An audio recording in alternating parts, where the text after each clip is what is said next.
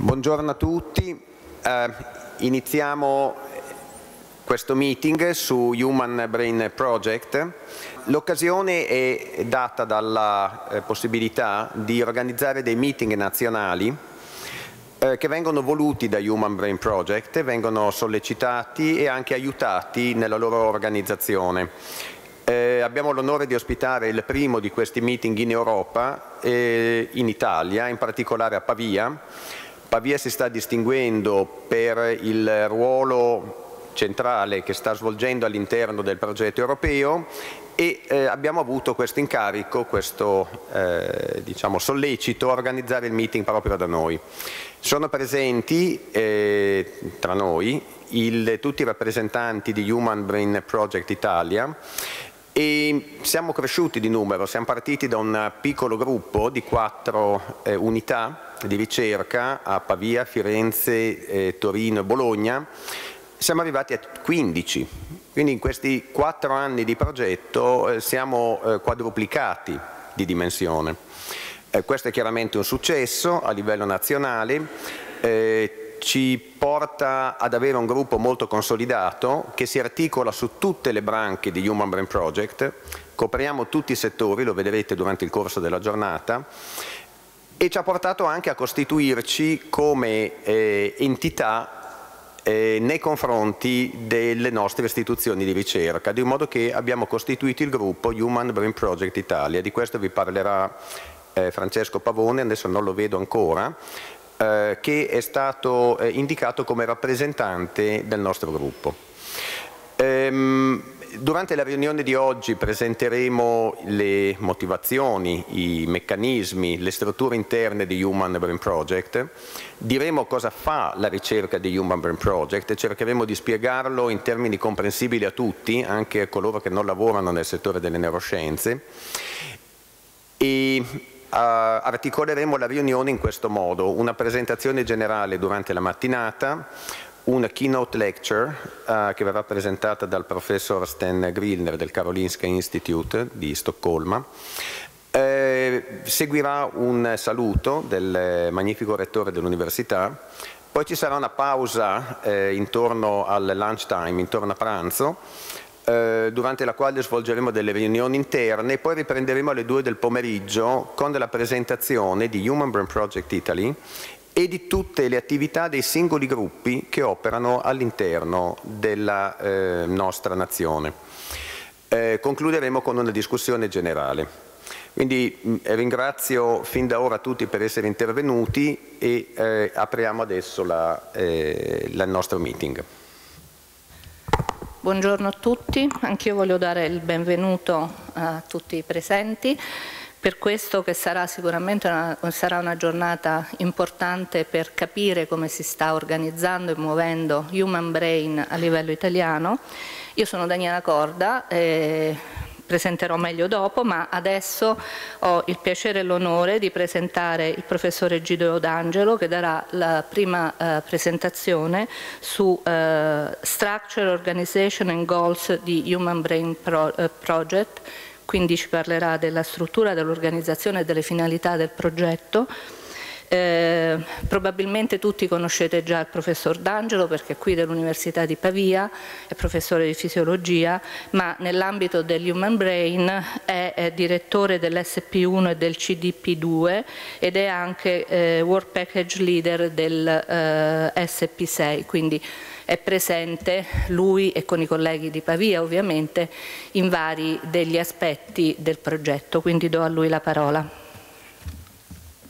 Grazie Daniela. Eh, la prima parte di questa meeting riguarda una presentazione generale di quelli che sono appunto gli scopi, gli obiettivi e eh, le strutture di Human Brain Project. Ecco, vi devo dire, io parlerò in italiano, parleremo tutti in italiano, abbiamo deciso così, anche se abbiamo delle, un ospite che è Stan Grillner. I'm sorry Stan, I mean, we decided to talk in, Itali in Italian today, but all the slides will be uh, written in English.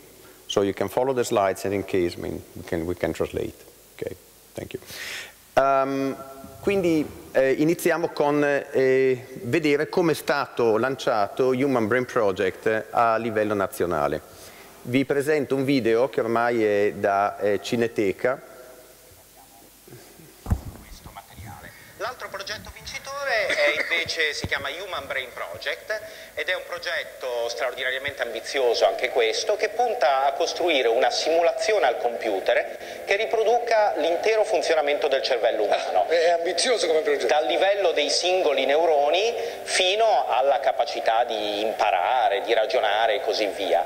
L'idea è naturalmente avere soprattutto un grande strumento in mano per simulare la comparsa delle malattie del sistema nervoso e quindi possibili effetti di farmaci per eh, rimediare alla degenerazione e così via. L'idea pensa a malattie come l'Alzheimer. Esattamente, l'idea anche qui è un po' fare, fare un salto di qualità a una scienza, quella delle neuroscienze che al momento è fatta di moltissime conoscenze parziali su alcuni aspetti del sistema nervoso e integrarle in una visione unica. Quello che vedete quello che avete sentito ora è una presentazione fatta su Rai 1. Allora io voglio eh, riportare l'attenzione su un fatto, eh, cioè che eh, non è comune che, questi, eh, che, queste iniziative, questi progetti vengano eh, presentati a questo livello.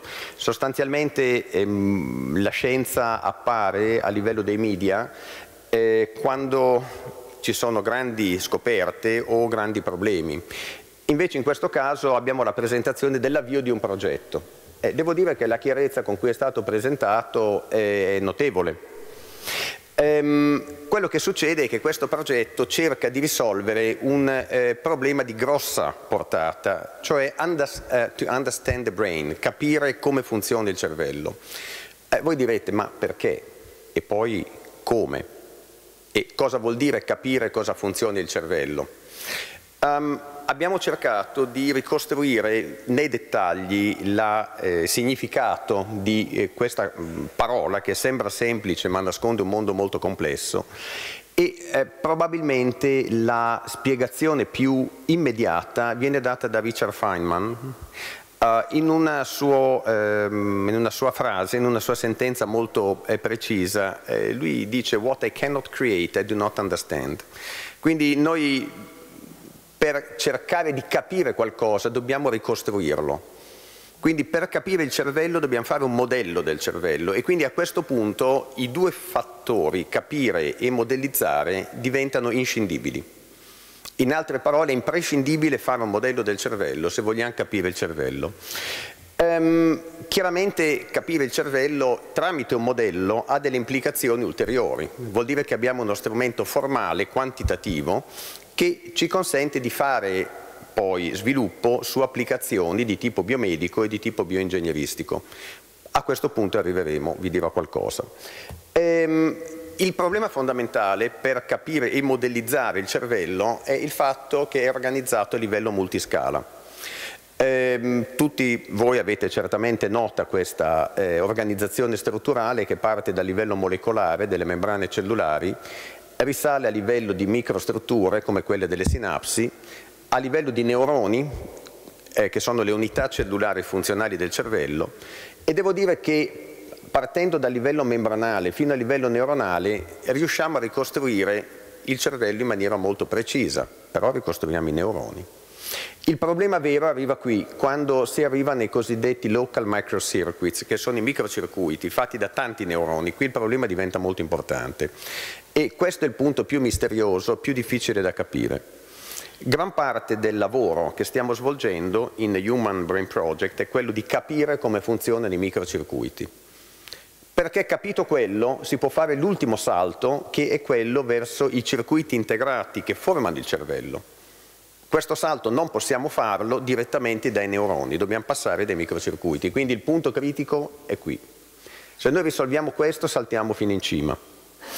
Eh, chiaramente quello che poi complica le cose in questo tipo di studio multiscala è che il prodotto del cervello non è un prodotto facilmente misurabile, quantificabile e trattabile, ma è sostanzialmente il comportamento è il pensiero e col comportamento e col pensiero ci scontriamo con un mondo diverso, che è quello dei fenomeni psichici, che decisamente sembra esulare e andare al di là di uno studio meccanicistico della funzione del cervello. In realtà non è così, perché la funzione del cervello è quella di produrre il pensiero ed il comportamento.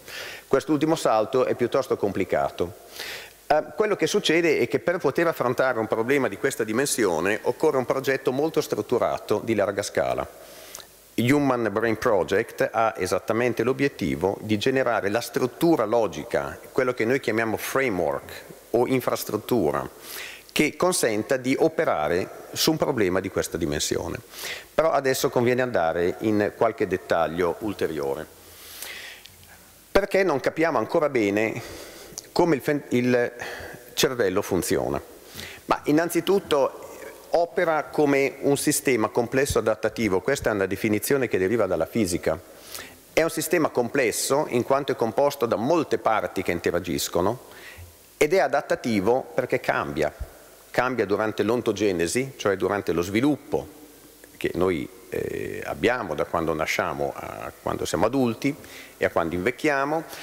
E inoltre eh, cambia nel corso della filogenesi, quindi nel corso della storia delle specie, eh, e in più cambia perché noi apprendiamo e continuiamo ad acquisire informazione dall'ambiente immagazzinandola in qualche forma nel cervello. Quindi in questo modo il cervello non è stabile, continua a cambiare. Quindi questo sistema non solo è complesso ma anche adattativo e interagisce con l'ambiente. Quindi chiaramente non è un problema semplice. E dentro a questa struttura dobbiamo scontrarci con la eh, altissima complessità molecolare del cervello Decine di migliaia di strutture molecolari interagiscono tra di loro e questo complica la nostra comprensione. Voi potrete immaginare, se voi cercate di capire come funziona il cervello studiando tutte le molecole a una a una non ci riuscirete mai, perché poi queste interagiscono. E il numero di interazioni al di là di qualsiasi capacità di comprensione nostra. Um, i microcircuiti, che vi ho già nominato come punto critico dello studio, sono difficilissimi da misurare direttamente con delle tecniche sperimentali. Banalmente sono fatti da tanti neuroni e non possiamo misurarli tutti insieme e indipendentemente uno dall'altro, il che crea una grossa difficoltà. Eh, c'è il problema delle relazioni con la coscienza che vi ho già menzionato. Arrivati a un certo punto ci troviamo di fronte al problema di capire come l'attività neurale genera fenomeni coscienti. Questo è uno dei punti più critici da risolvere. Eh, ci sono problemi nella relazione struttura-funzione-dinamica problema ben noto in ingegneria, questo problema per il cervello non è facile da risolvere. Ehm, il problema dello spazio-tempo nel cervello, sostanzialmente lo spazio-tempo esterno nel cervello viene tutto trasformato e non sappiamo esattamente come. Per andare avanti con questi problemi la stocasticità, i fenomeni elementari sono di natura stocastica, ma noi non li trattiamo come stocastici, ma la stocasticità nel cervello c'è quindi qual è l'impatto della stocasticità non è molto chiaro, nemmeno questo.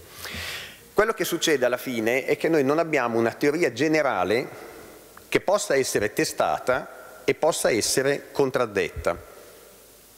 Normalmente su un grosso problema di natura fisica si opera facendo test che possono portare a confermare o a invalidare l'ipotesi o la teoria che sta sotto al test ma noi non abbiamo né l'ipotesi né la teoria, forse l'ipotesi ma la teoria no. Quindi sostanzialmente quello che è il grosso problema è che fino a che noi non abbiamo un modello che genera questa teoria del cervello non possiamo nemmeno fare test e nemmeno fare prove di invalidazione e quindi non abbiamo nulla da testare in modo solido. Questo è il grosso problema. Quindi creare un modello serve innanzitutto a produrre una teoria che consenta di lavorare, che fino adesso non c'è. Quindi vi rendete conto che Human Brain Project non è semplicemente mettere insieme quattro laboratori che fanno degli esperimenti interessanti. C'è una filosofia e c'è un'organizzazione logica dietro al progetto che è notevole che è stata accettata dalla Commissione europea dopo anni di studio e dopo anni di eh, elaborazione eh, del progetto e che adesso sta operando, sta avanzando. Vi faremo vedere cosa sta succedendo al di là di queste premesse. Come nasce Human Brain Project? Nasce eh, nel contesto di uno sviluppo progressivo degli studi sul cervello che eh, partono con il lancio della decade del cervello, della decade della mente, dopodiché si passa a un primo grosso progetto di larga scala che è il Human Connectome Project, seguito da Human Brain Project eh, in Europa, dalla Brain Initiative negli Stati Uniti e poi abbiamo i Brain Projects in Corea, in Cina, in Giappone Sostanzialmente tutte le grosse eh, eh, unità nazionali o sovranazionali hanno lanciato grandi progetti sul cervello. Quindi questa è un'indicazione che non è che siamo solamente noi che abbiamo in Europa l'idea di studiare il cervello, è una importante eh, trend che si sta sviluppando in tutto il mondo. Eh, qual è l'impatto dal punto di vista economico? Questa è un'altra domanda molto importante. Voi direte, ma per fare un progetto di questa scala occorrono molti soldi. Sì, occorrono molti soldi. Eh, questi soldi da dove arrivano? Dalla Commissione europea. Da dove li prende? Li prende dagli Stati membri. Questo poi ve lo racconteranno meglio Daniela e, e, e Marta. Eh, quello che succede è che questo progetto ha una taglia da 1,2 miliardi di euro in dieci anni per oltre 100 laboratori, quindi declinatelo sui laboratori non è che sia di dimensioni spaventose per laboratorio per anno, però è molto grosso. Tenete conto che la spesa dell'Europa eh, per la brain pathology, per la cura e studio delle patologie del sistema nervoso, si aggira intorno ai 500 miliardi di euro non 1,2, quindi siamo 500 volte sotto alla spesa per le patologie del sistema nervoso. Il che vuol dire che questo investimento in un certo modo è una briciola rispetto alla spesa generale. Quindi attenzione, cerchiamo di mettere le dimensioni nella giusta scala. È un progetto molto grande rispetto ai progetti usuali, ma affronta un problema molto grande e la sua dimensione rispetto alla spesa generale che l'Europa affronta per le malattie del sistema nervoso è molto piccola, è un 5 centesimo. Ecco. Um, senza andare in ulteriori dettagli sulla suddivisione per nazioni, ma questa è la dimensione del problema. Um, quello che la Commissione europea ha pensato di affrontare non è un'aggregazione di ricerche che in qualche modo potrebbero portare a mettere insieme qualcosa, non è così. Ha generato un piano molto strutturato che si articola su tre grandi challenge, quindi su tre grandi sfide. Understanding the complexity of the human brain, questa è la prima di cui vi ho già parlato, dobbiamo capire come funziona, se non capiamo come funziona è inutile che andiamo avanti. C'è il problema medico e c'è il problema tecnologico o ingegneristico, che sono collegati tra di loro, perché dal capire il cervello derivano ricadute sugli altri due, ma gli altri due settori, medico e tecnologico, danno informazioni e strumenti per capire il cervello, quindi questi sono connessi in un loop chiuso. E questa è una delle sfide organizzative di Human Brain Project, far parlare questi tre settori che classicamente sono separati. L'ingegnere fa il suo lavoro, il medico fa il suo e lo scienziato ne fa un altro. Non è più così. Tipicamente le neuroscienze sono una eh, materia interattiva in cui entrano molti campi che necessariamente devono lavorare insieme. Ehm, al di là dei dettagli riportati in questa figura, dovete tenere presente che questi tre mondi interagiscono all'interno dello Human Brain Project. Ehm, quindi vedete che tutto sommato dobbiamo partire dall'idea di avere questa grande sfida per eh, l'umanità che è capire come funziona il cervello e questo opera tramite dei modelli questi modelli cosa fanno? Cercano di riempire innanzitutto eh, i buchi nella nostra conoscenza.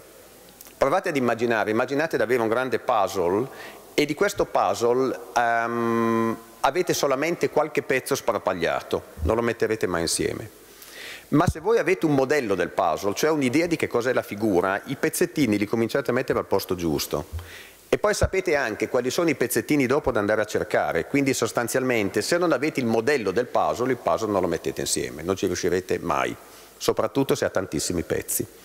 Quindi avere il modello serve a riempire i buchi della nostra comprensione del sistema. Quando abbiamo questo modello cerchiamo i pezzi in modo migliore, il che vuol dire facciamo meno esperimenti, costano meno, impieghiamo meno personale, impieghiamo meno tempo e otteniamo più risultati.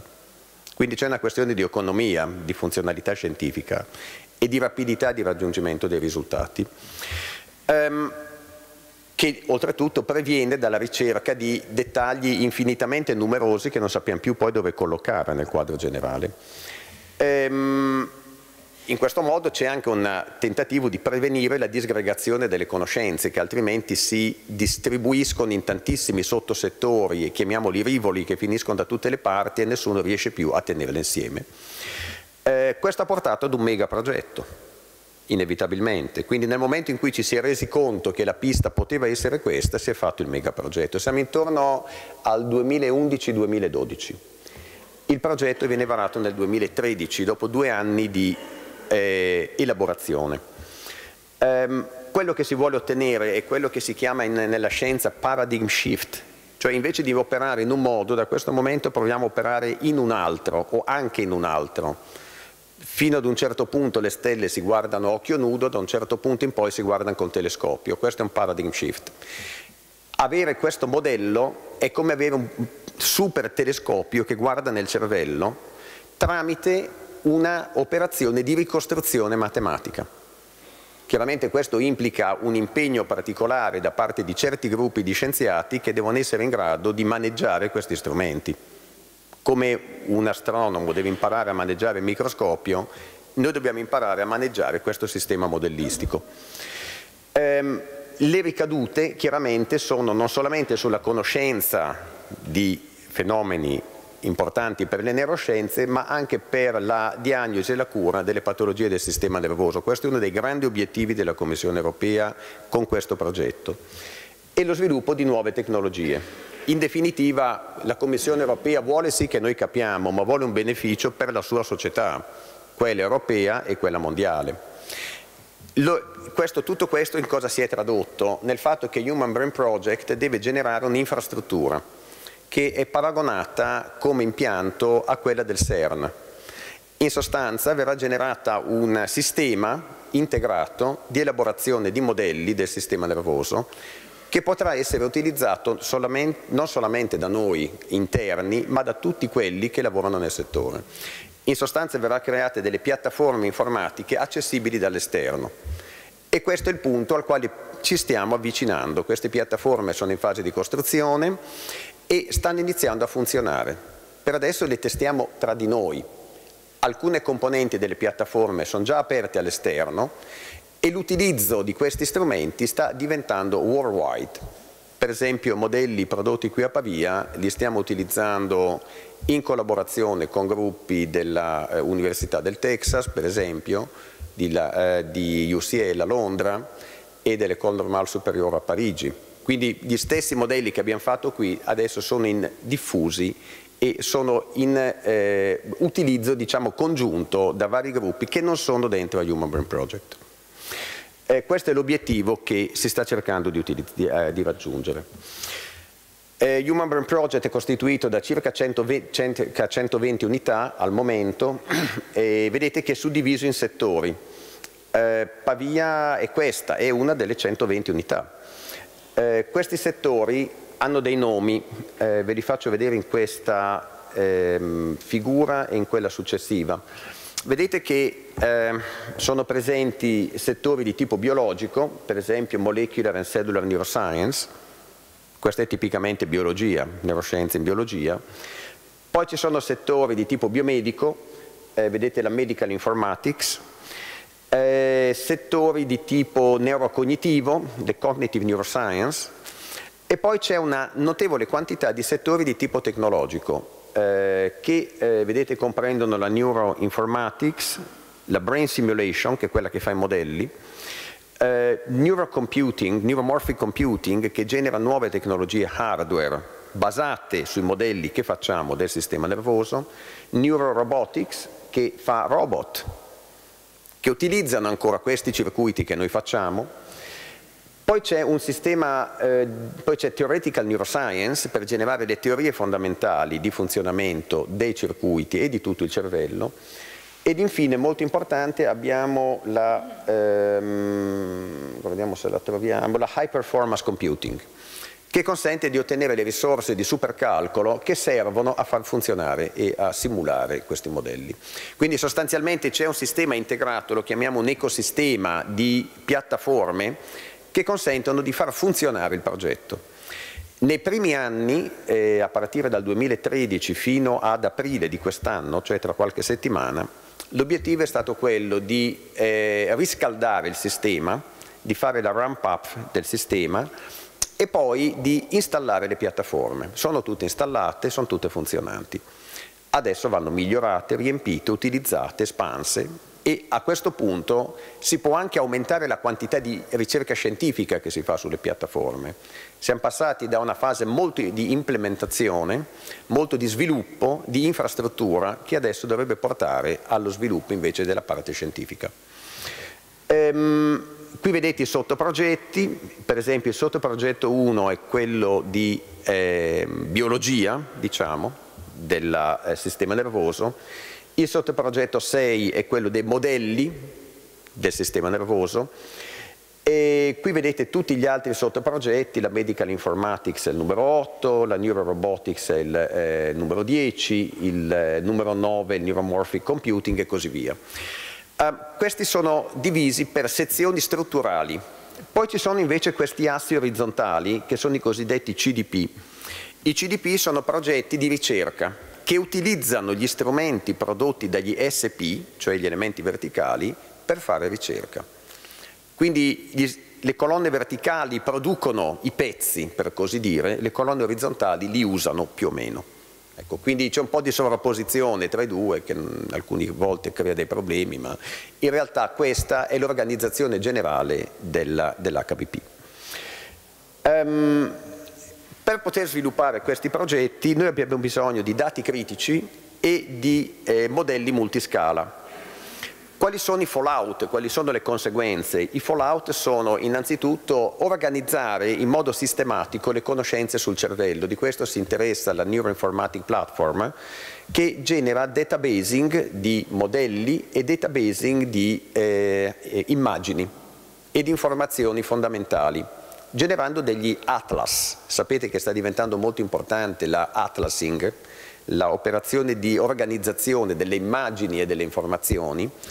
E nel caso del cervello c'è il cosiddetto Allen Brain Atlas che è molto famoso degli Stati Uniti derivato dal uh, Human Connecton Project che adesso è in collaborazione con noi. Quindi noi stiamo lavorando su questo altro progetto precedente implementandolo con delle nuove componenti. Poi abbiamo le brain simulation, i brain simulators poi le applicazioni biomediche, le applicazioni robotiche, di neuroinformatica e di computing neuromorfo.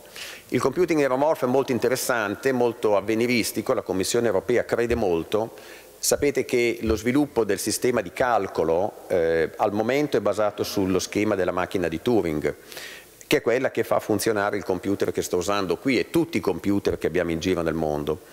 Ci sono due nuovi schemi di calcolo che sono quelli del quantum computing e quello del neuromorphic computing. Ecco, noi stiamo sviluppando sul settore del neuromorphic computing. Quantum computing poi ve ne parlerà forse Marta perché c'è una nuova flagship in partenza appunto su quantum computing. Eh, quindi tutti questi settori si integrano tra di loro in un grosso sistema di ricerca europeo e mondiale. Vi faccio vedere solamente alcune immagini, poi ho finito. Questa è un'idea del multiscale experimental analysis, noi dobbiamo analizzare il sistema nervoso multiscala, non possiamo stare su una molecola e spendere lì 20 anni senza uscire dalla molecola. Il sistema multiscala vuol dire che dobbiamo essere in grado di eh, riconnettere tra di loro le ricerche a livello cellulare, come quella che sto indicando qua sotto, a livello di microcircuito, questa è una grossa sfida che richiede nuove tecnologie, tra l'altro, che sono in fase di sviluppo, a livello di sistemi integrativi e qui andiamo inevitabilmente nel settore del brain imaging sia strutturale che funzionale. E questi settori vanno ricollegati tra di loro, La, come ricollegarli è un problema che Human Brain sta cercando di risolvere, non è così semplice. Um, questo è un esempio di come procede la modellizzazione, eh, scusate lo schema un po' complesso, si parte dai biological recordings, vengono generati modelli di neuroni e questi modelli di neuroni, poi vi darò un'idea di cosa sono, possono venire duplicati, moltiplicati, connessi formando delle reti. Queste reti possono essere in caso di necessità semplificate in qualche misura e per generare dei cosiddetti brain models. Ne sono già stati fatti, ne abbiamo, questi brain models vengono introdotti all'interno di sistemi robotici e vengono utilizzati per fare closed loop testing, quindi test in closed loop delle funzioni del sistema. Quindi abbiamo creato un modello, ma non lo studiamo solo nel computer, lo facciamo interagire con l'ambiente tramite un robot. A questo punto abbiamo una chance di capire come è stato disegnato dall'evoluzione questo sistema. Non è stato disegnato per farsi studiare da noi in una capsula Petri, è stato studiato per interagire con l'ambiente, quindi questo è l'obiettivo che viene ottenuto inserendo i modelli all'interno dei robot. al di là delle possibili applicazioni, per noi è un valore conoscitivo altissimo poter utilizzare i robot.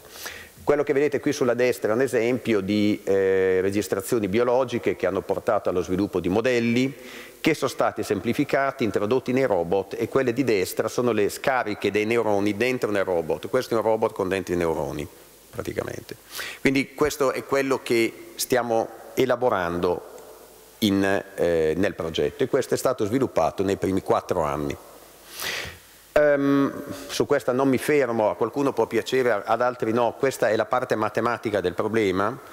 Il eh, problema matematico della generazione di modelli è un problema di sistemi di equazioni differenziali che possono essere molto estesi. Eh, nella figura che vi faccio vedere dopo il neurone è risolto con 60.000 equazioni differenziali, quindi sono sistemi di altissima complessità e eh, quello che ne deriva è che per risolvere questi sistemi occorrono i supercalcolatori, cioè non lo facciamo più nel computerino che abbiamo qui se non vogliamo metterci 10 anni. Quindi per avere una simulazione che venga eseguita in tempi ragionevoli occorrono i supercalcolatori. L'unica cosa che vi faccio vedere a questo punto è questa.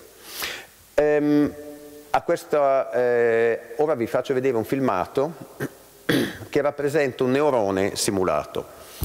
Eh, questo neurone simulato è preso dal nostro laboratorio, eh, è una cellula delle porchinie, quindi una cellula del cervelletto, è il più grosso neurone del cervello, può ricevere fino a 200.000 input sinaptici nel topo e probabilmente sfiora il milione nell'uomo, è una cellula di dimensioni mostruose. Per rappresentare questa cellula dal punto di vista modellistico eh, sono necessari più di 1500 compartimenti elettrici e circa 60.000 equazioni differenziali. È un modello di dimensioni spaventose. Quello che noi abbiamo fatto è di costruire i sistemi di simulazione di utilizzarli in modo appropriato sviluppando delle tecnologie che consentono di lavorare su questo livello di complessità in un modo abbastanza agile. Costruire questo neurone gigantesco non è per noi più difficile a questo momento che costruirne uno molto semplice. Quello che è importante avere sono alcune informazioni biologiche fondamentali, cioè dove sono localizzati i famosi canali ionici, di che tipo sono e sostanzialmente qual è la scarica che il neurone genera in diverse condizioni sperimentali. Dopodiché procedure di ottimizzazione, fitting e parametrizzazione consentono di ottenere il modello finale. Um, vi faccio vedere un'altra eh, figura. Più. Ecco, vi faccio vedere un altro esempio questo invece è un eh, modello di un microcircuito, questa volta il neurone non è uno ma sono 400.000, quindi qui c'è stato uno scale up dimensionale gigantesco di 400.000 volte. Quindi voi direte, ma quindi le equazioni differenziali sono diventate 400.000 volte di più? No, sono molte di più, perché qui abbiamo anche le sinapsi. E le sinapsi sono circa mille volte di più dei neuroni quindi abbiamo uno scale up di quasi un milione di volte. Il eh, problema a questo punto richiede assolutamente i supercomputers. Quello che vedete qui sono cellule del cervelletto, quelle piccoline sono delle cellule dei granuli, quelle grandi sono cellule del Golgi. E queste cellule stanno pulsando, perché alcune sono pacemaker, e stanno trascinando la rete in un'attività eh, interna autonoma. Poi quello che per noi è importante non è l'immagine, per noi è importante analizzare la struttura interna dei dati, che vuol dire le correlazioni, eh, vuol dire le statistiche interne di questa attività. Quello che vi può dare un'idea di come funziona il progetto a questo punto, il modello viene fatto a Pavia, viene eh, lanciato su una macchina che però non sta a Pavia. In questo caso la macchina che l'ha elaborato si trova a Lugano, è il CSCS di Lugano, è un supercomputer che sta lì. Um, stiamo utilizzando altri sistemi, in altre circostanze utilizziamo macchine che stanno per esempio a Jülich in Germania o che stanno al Cineca a Bologna.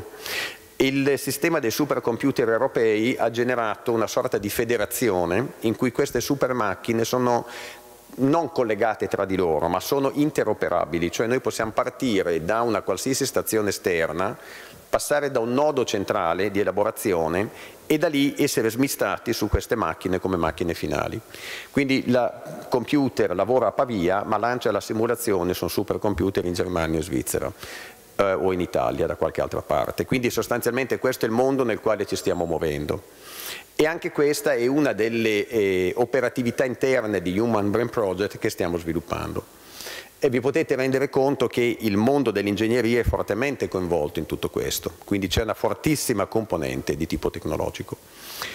Um,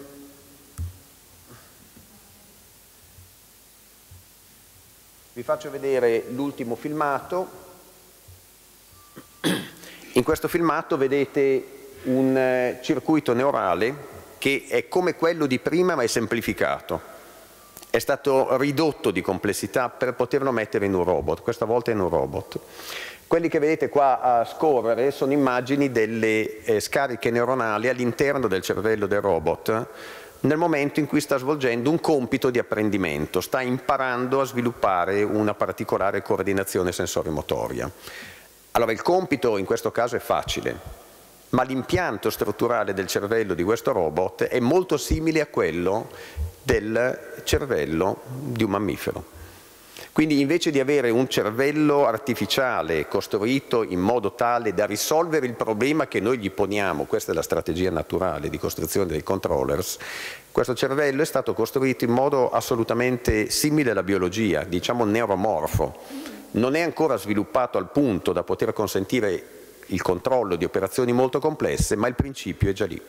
Quindi sostanzialmente noi abbiamo trasferito le reti neurali realistiche all'interno di un controller di un robot.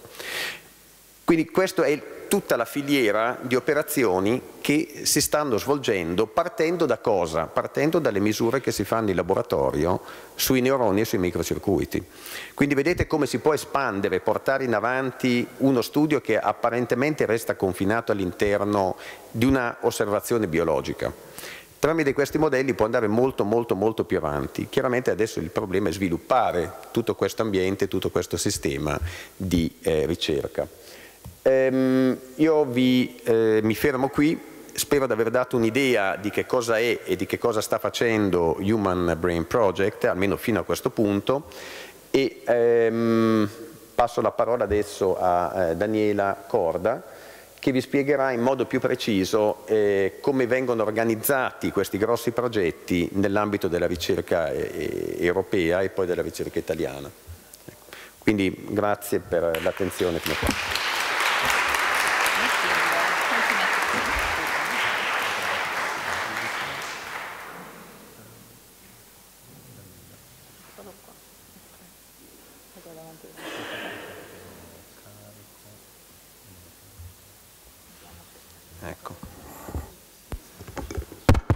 Sentite? Sì. Eh, dico chi sei. Ah. Ecco, Daniela Corda è, è, ricercatore del CNR ed è il rappresentante nazionale del eh, programma FET a livello della Commissione europea. Quindi, prego. Grazie Gidio.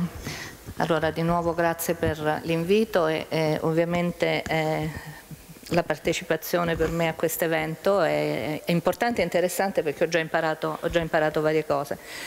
Preparatevi a un cambio assoluto di argomento, non parlerò dei contenuti di Human Brain, ma eh, di come si agisce a livello europeo per promuovere le varie iniziative eh, nell'ambito, in questo caso, del programma FET, Future, Future, Emerging Technologies.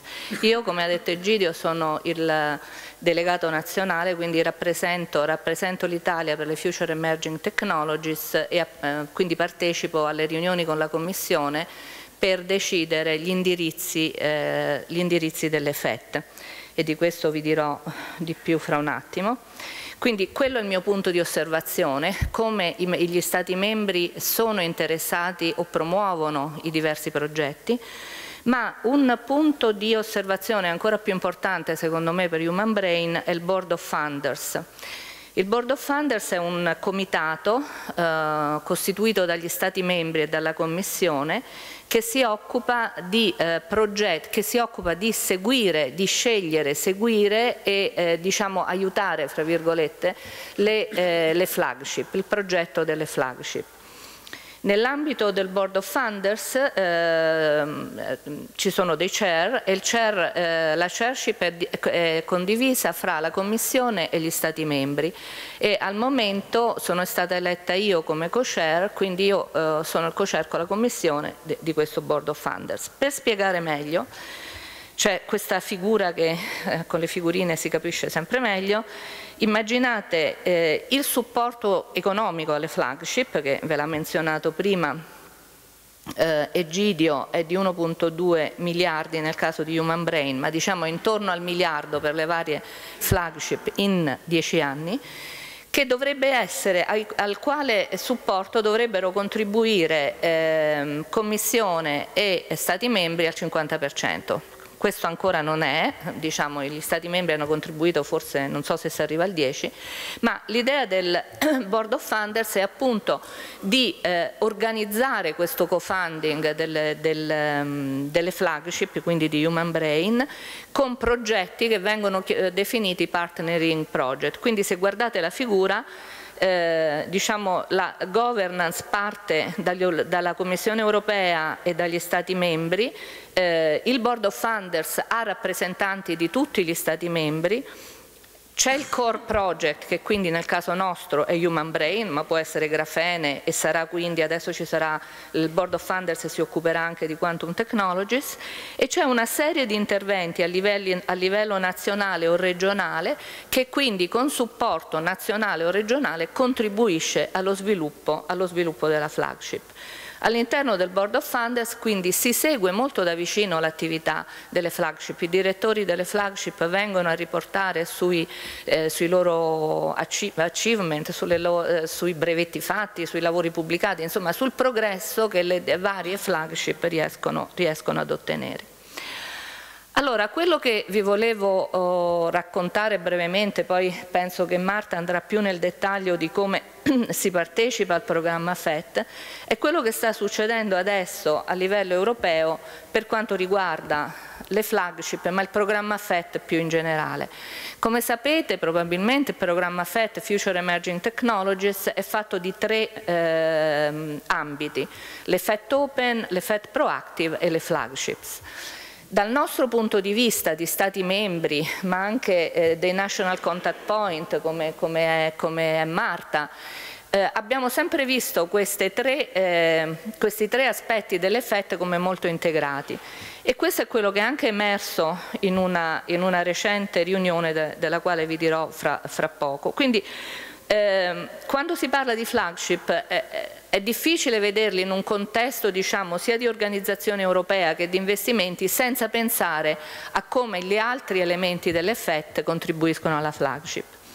Comunque un importante evento c'è stato, come sta scritto qui, il 6 novembre 2017 da parte de, è stato organizzato nell'ambito, nell del semestre estone e si è parlato appunto delle flagship come il mezzo per mirare all'eccellenza e all'innovazione. Devo dire che io ho partecipato appunto come chair del board of funders, ehm, è stata un, una celebrazione delle flagship, forse giustamente così, e eh, si è detto come siano i programmi più importanti nel produrre innovazione. Vi ricordo che tutto il programma Horizon 2020 ha come finalità sì l'eccellenza ma l'innovazione, l'eccellenza in ricerca che deve portare all'innovazione e quindi il, quello che hanno fatto le, le, flagship finora è stato di cooptare per esempio nei loro progetti anche il mondo industriale e questo da un punto di vista europeo si vede come un grande passo avanti nel raggiungimento dell'innovazione.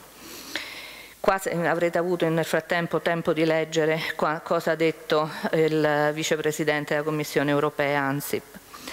E, eh, questa, questa, riunione si è organizzata anche con delle tavole rotonde che hanno risposto alle domande che vedete scritte in azzurro perché le flagship sono importanti per l'Europa e come si può massimizzare, eh, rendere, eh, rendere, molto utile diciamo, a livello europeo l'impatto delle, eh, delle, flagship. Qual è l'impatto delle flagship? Adesso qua, oltre ad innovation, innovazione, ho detto un'altra parola cruciale in Europa, impatto.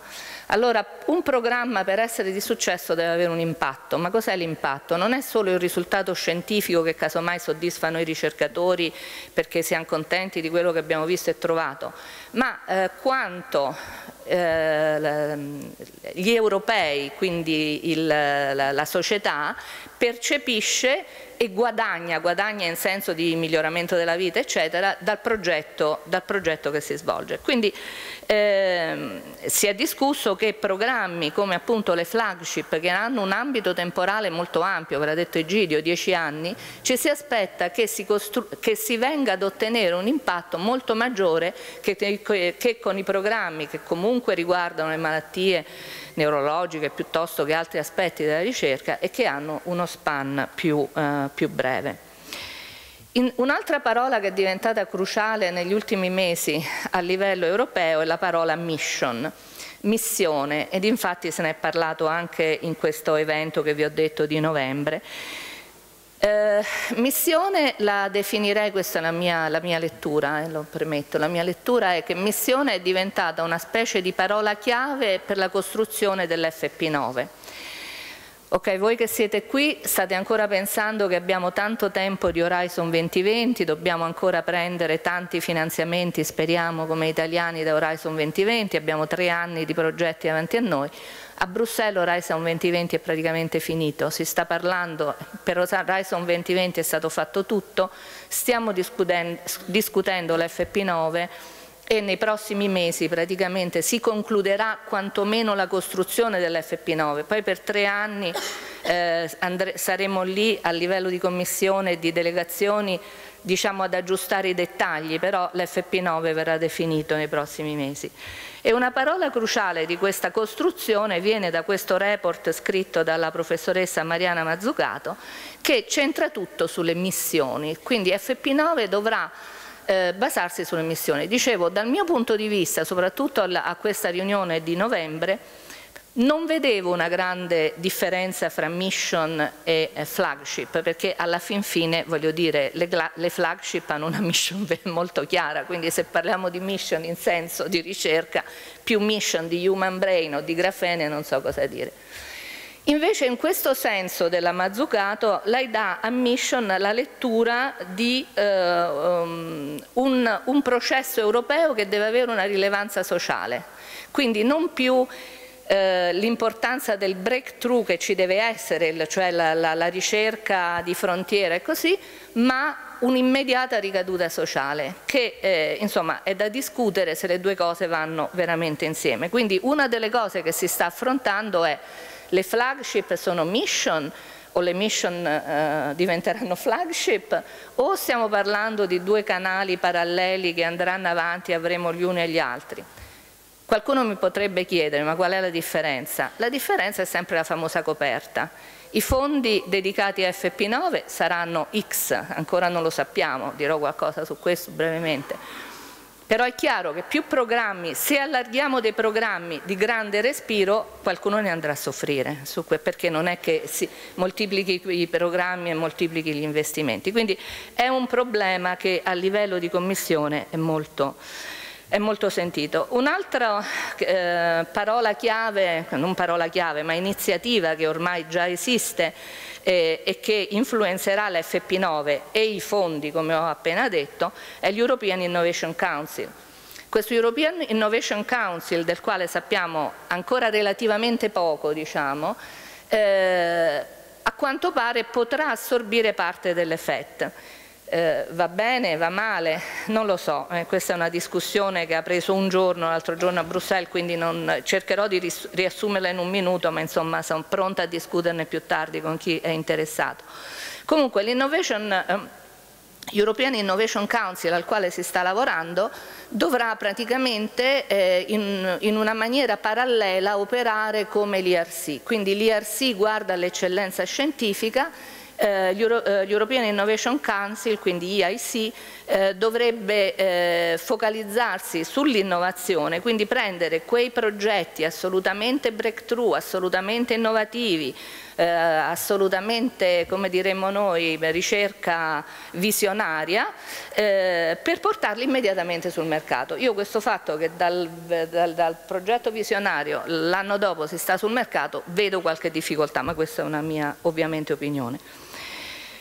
E arriviamo al, al meeting di pochi giorni fa, del 7 marzo, che è stato molto importante perché eh, anzi dovrei dire organizzato da Apre ma soprattutto da Marta che è stata bravissima nell'organizzarlo, è stato un, un evento che ha avuto un, veramente un, uh, un eco eccezionale, um, c'erano 150 posti e 50 persone che non hanno potuto partecipare perché appunto i posti non c'erano più, quindi un grande successo di Marta che le va riconosciuto e quindi dell'Apre, insomma, promosso dalla, dalla parlamentare Toia, italiana anche lei, che voleva capire praticamente, per riportarlo poi in Parlamento, quanto fossero importanti le FET. Allora voi potreste dire ma cosa ci interessa l'effetto? Noi siamo qui per Human Brain. Human Brain è una flagship, le flagship sono una parte integrale dell'effetto e come dicevo prima i tre aspetti dell'effetto difficilmente possono operare diversamente perché si va dall'effetto open che è assolutamente un bottom up, eh, un approccio proprio che parte dal ricercatore, quindi qualsiasi idea in qualsiasi campo può essere finanziata e sono progetti relativamente piccoli.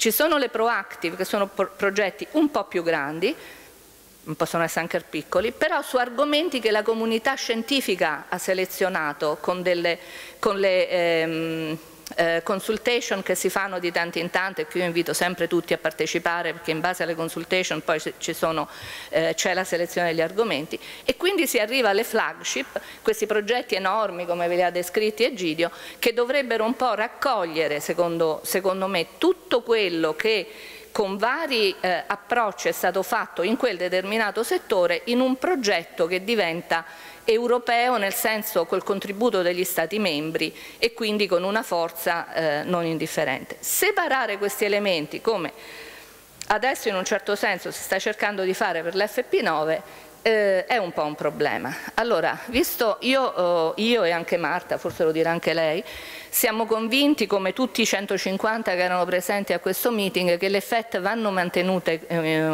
in, come tali, infatti anche Khalil Ruana, il direttore generale della DG Connect, ha, ha, proprio fatto il punto di come, sono stati, di come sono state di successo le FET negli ultimi anni, di successo come progetti, poco finanziate. Il problema delle FET è che sono poco finanziate, quindi io in quell'occasione, spero che finisca nel report, ho detto c'è solo una cosa da fare per, per le FET, raddoppiare, triplicare i fondi in maniera che il ridicolo success rate del 2% per le FET open passi almeno al 6, all'8%, basta aumentare i fondi, aumenta e se noi perdiamo tutti quei progetti che invece non vengono finanziati ovviamente perdiamo tante di queste idee disruptive, innovative e so on and so forth, tutto quello che eh, ci, si aspetta, ci si aspetta dalle FET.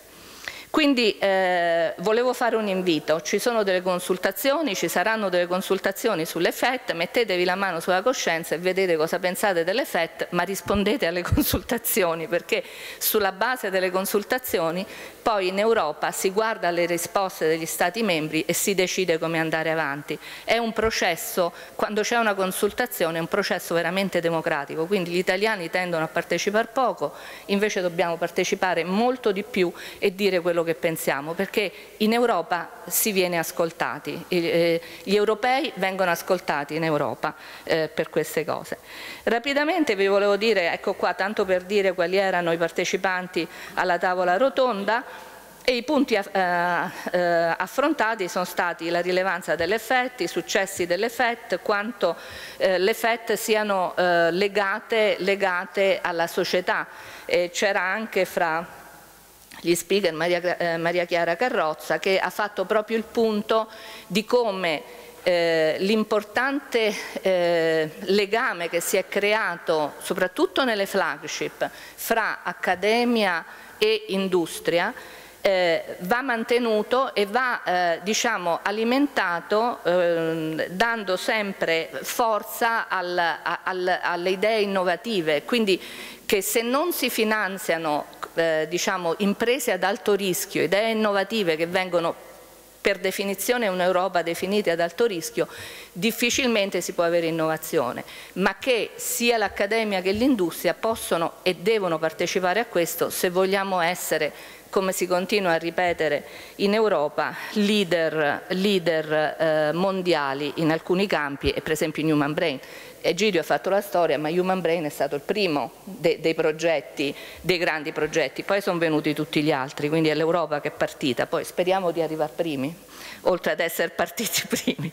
L'ultima cosa che vi voglio dire in un secondo è un altro report che forse avete già sentito eh, del quale avete sentito parlare e sul quale appunto eh, si fonderanno alcune delle decisioni per l'FP9, questo è l'AMIS report che dice secondo me delle cose fondamentali, analizza l'Horizon 2020 che sta andando bene, tutto quello che abbiamo trovato eccetera, ma dice una cosa che ho appena detto per altri motivi, vanno aumentati i fondi, perché? Perché abbiamo tanti buoni progetti che non vengono finanziati e significa perdere idee e perdere ricercatori, quindi noi dobbiamo a livello italiano ancora di più, avere più ricercatori, avere ricercatori meglio finanziati e non perdere le buone idee.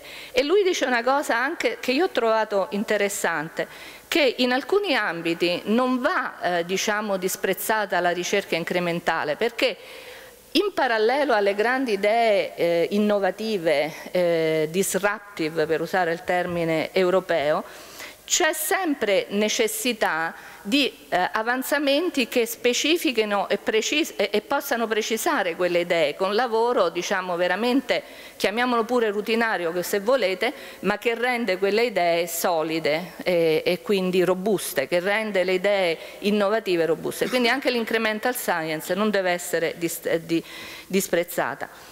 Ovviamente secondo l'AMIS report eh, quindi bisogna finanziare di più la ricerca europea, bisogna offrire più mezzi e quindi arrivare alle applicazioni il prima possibile, ma questo è quello che si eh, continua a dire per vari, anche per il framework, eh, pro, eh, per il programma quadro 9 che sarà e quindi è puntato su questi aspetti eh, dell'innovazione. Ci si aspetta per finire che le flagships continuino in FP9 ma vista questa revisione delle FET che c'è, eh, tutto può succedere. Insomma, siamo in un momento in cui tutto può succedere.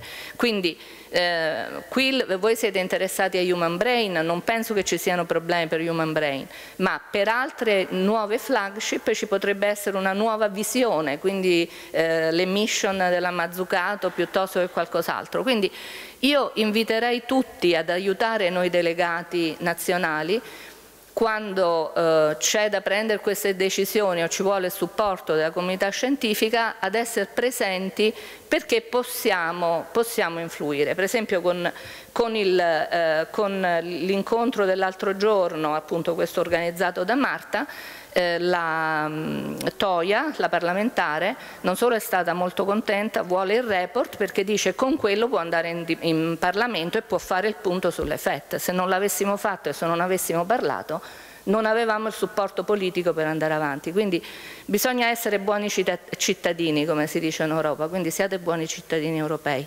Grazie.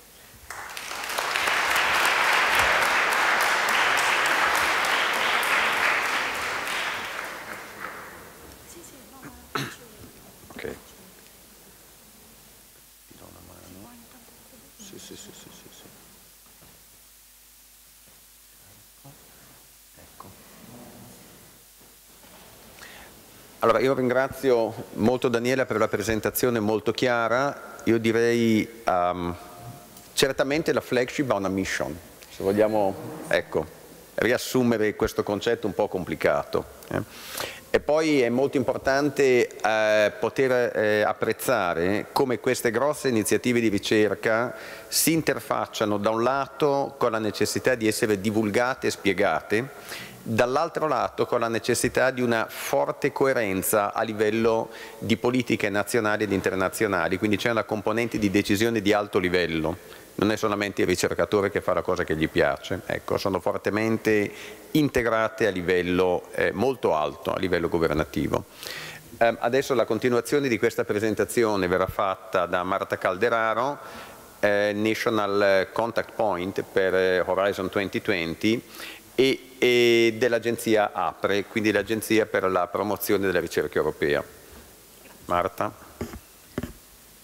Buongiorno a tutti, in primo luogo grazie mille per eh, l'invito a questo importante evento dello Human Brain Project e sono molto felice di essere qui perché come diceva anche Daniela sto imparando tantissimo quindi sullo Human Brain Project da un punto di vista anche tecnico quindi assolutamente estremamente importante. Allora, Giusto per appunto informarvi un pochino, io sono un punto di contatto nazionale, il mio ruolo è appunto quello di dare diffusione sul programma Future and Emerging Technologies e non solo, ovviamente in questo, in questo caso per le FET. Non vi parlerò di che cosa sono le FET in realtà perché eh, parto dal presupposto che principalmente insomma, più o meno si sappia che cosa sono que questi progetti di ricerca, ma vorrei parlare fin da subito di come prendere parte allo Human Brain Project in particolare. Vorrei utilizzare una parola, una parola importantissima per il programma Future and Emerging Technologies, che è collaborazione. Il programma FET finanzia una tipologia di ricerca ad alto rischio eh, e ad alto valore tecnologico di tipo dirompente attraverso una ricerca interdisciplinare e ricerca collaborativa. Abbiamo visto appunto che lo Human Brain Project è partito da all'incirca un partenariato di 80 partecipanti, adesso già siamo a 120 partner eh, all'incirca e assolutamente si parte dal presupposto che ci sia una collaborazione interdisciplinare. Questa collaborazione viene incoraggiata sotto diversi aspetti e punti di vista. La mia presentazione eh, breve di oggi in realtà è rivolta proprio a far capire come si può collaborare prendendo parte allo Human Brain Project non essendo parte dello Human Brain Project e anche come si può eh, collaborare per, eh, se vogliamo, da un punto di vista educativo e quindi come giovane studente che vuole lavorare in quest'ambito ed effettivamente ha eh, tutta, o dottorato appunto ha tutta la, dottorando scusate, la volontà di, ehm, di partecipare. Allora, vediamo in primo luogo appunto un aspetto importante, come vi dicevo, il primo asse è come prendere parte eh, all'interno dello Human Brain Project e nello specifico lo Human Brain Project è un progetto, se vogliamo, aperto sotto alcuni punti di vista ma chiuso. Realmente chi ha potuto collaborare lo ha fatto attraverso una serie di competitive calls che venivano lanciate eh, fin dal 2000, 2015, 14, 15 e queste eh, espressioni di interesse, queste call di espressioni di interesse che al momento abbiamo appunto aperto, abbiamo tre call di espressioni di interesse, nello specifico nella Medical Informatics Platform, eh, due, no, tutte e tre, scusatemi, sulla Medical Informatics Platform ehm, appunto che sono state aperte. La, la, cosa importante di queste espressioni di interesse è che hanno sia un aspetto, un carattere appunto tecnico-scientifico, ma possono anche riguardare degli aspetti collaterali allo Human Brain Project. Faccio un esempio. In, una, in varie eh, call vi è stata una call nello specifico che ha aperto l'espressione per la data protection, quindi appunto la protezione, la protezione dei dati che eh, venivano sviluppati e gestiti dalle diverse piattaforme dello Human Brain Project. Un'altra espressione di interesse è stata eh, rivolta relativamente al eh, bilanciamento e all'equilibrio dello gender balance balance, quindi l'equilibrio appunto tra differenti, eh, le differenti partecipazioni uomo-donna all'interno degli staff di ricerca, ma non solo, anche da un punto di vista tecnico ovviamente. Il, il, queste espressioni di interesse sono, se vogliamo, l'unico modo effettivo per prendere parte allo Human Brain Project dall'interno.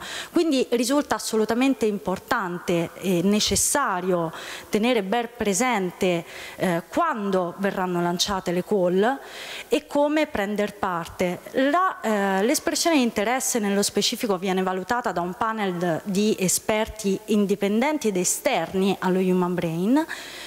Um, eh, questi questo panel appunto in un primo luogo andrà a verificare eh, da un punto di vista esterno e indipendente la pertinenza della, della, eh, del, del, progetto e poi effettivamente vi sarà la possibilità di avere un incontro eh, direttamente con eh, speci lo, gli specifici responsabili degli, dei differenti sottoprogetti.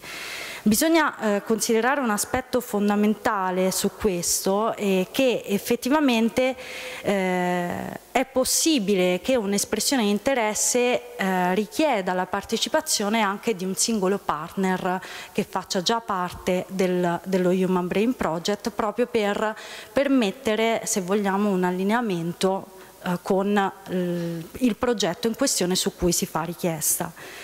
E questa è la, è la il primo modo di collaborare, l'unico modo appunto per entrare internamente. Abbiamo già visto questa immagine dalla presentazione eh, di Daniela e nello specifico come si può collaborare esternamente allo Human Brain Project. Partivo dal punto del presupposto di una parola chiave, la parola chiave collaborazione.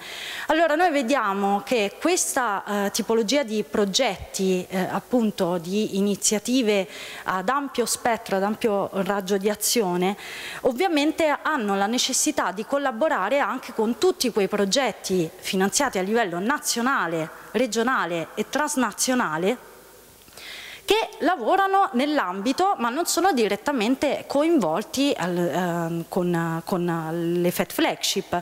Di conseguenza appunto è stato elaborato questo partnering model che non voglio andare a, a ripetere quello che già diceva eh, Daniela, che però permette eh, la eh, possibilità appunto di collaborare esternamente attraverso la collaborazione scientifica in questo senso tra diversi progetti, quindi si parte dal presupposto che, scusate se dirò una cosa abbastanza banale, ma questo implica che si ha già un progetto finanziato a livello nazionale, trans, eh, transnazionale o appunto regionale.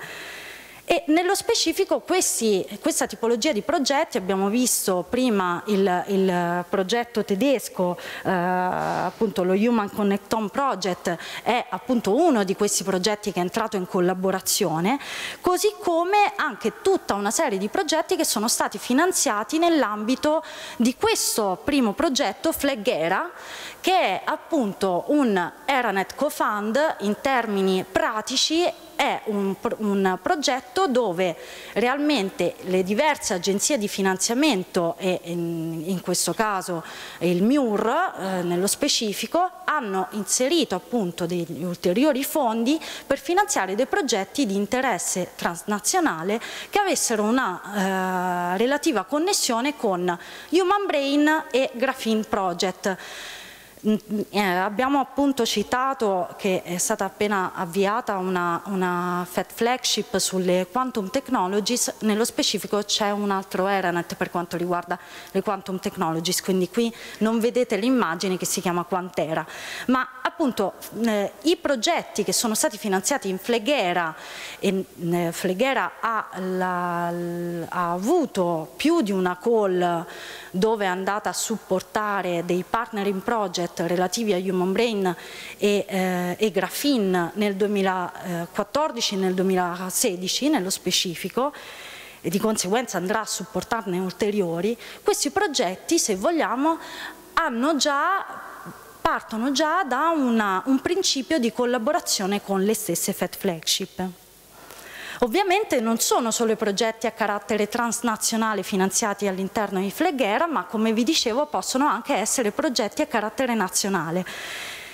Come fa un progetto a carattere nazionale o regionale ad avere una, un reale, una reale connessione con le FED flagship? Lo fa attraverso questa Coordination and Support Action che si chiama appunto SCOPE che dà la possibilità di poter partecipare sia alle conferenze attraverso un finanziamento che viene destinato dalla stessa Coordination and Support Action Scope per partecipare appunto a tutti, eh, tutte le iniziative eh, relative alle, alle FED flagship, ma anche e soprattutto direi dando eh, di, mh, ampia diffusione di quelli che sono i risultati scientifici e tecnologici delle, eh, del progetto, del progetto nazionale allo Human Brain e viceversa e di conseguenza permette un'effettiva collaborazione tecnico-scientifica. Quindi particolarmente interessante questa Coordination and Support Action finanziata a partire dal 2016. E infine, eh, come vi dicevo, eh, da un punto di vista appunto maggiormente orientato al singolo eh, giovane ricercatore. Il programma FET nello specifico è un programma che tende ad incoraggiare molto la partecipazione di giovani ricercatori e se vogliamo il consolidamento di un ecosistema di ricerca e innovazione che poi realmente dovrebbe essere alla base della leadership competitiva europea del prossimo futuro, quindi um, realmente eh, cerca di supportare il più possibile la formazione del giovane ricercatore e in questo senso lo Human Brain lo fa anch'esso con un programma abbastanza strutturato che è disponibile al link che mi sono segnata education.humanbrainproject.eu quindi particolarmente rilevante dove realmente, ah, ecco scusate non ricordavo di aver messo il link dove realmente vi sono una serie di um, attività che sono rivolte proprio al giovane e nello specifico al giovane ricercatore. Lo Human Brain Project Curriculum dove eh, si cerca attraverso l'organizzazione di workshop face to face o di online training di dare appunto un supporto relativo alle, alle specifiche tecniche, un supporto curriculare, proprio di avanzamento curricolare. L'Advanced Human Brain School che sono cinque giorni di deep training nelle attività appunto eh, un pochino più specifiche dei singoli sottoprogetti, lo Human Brain Student Conference che appunto è rivolto maggiormente a eh, supportare una collaborazione anche interdisciplinare eh, e quindi presentare da un punto di vista interdisciplinare a tutti quanti i giovani ricercatori le attività dello Human Brain Project e le Young Researchers event dove i giovani ricercatori che già partecipano presentano a dei propri pari le loro attività e come partecipare. Eh, particolarmente rilevante perché vedo una, una sala abbastanza gremita di, di, giovani ricercatori e quindi eh, vi consiglierei appunto di andare a, a, vedere questo sito in quanto ci sono tantissimi eventi già adesso che sono online. E con questo vi ringrazio per ulteriori informazioni sul, sul programma FET e su, e su tutti gli aspetti politici in realtà del programma FET sono qui. Grazie.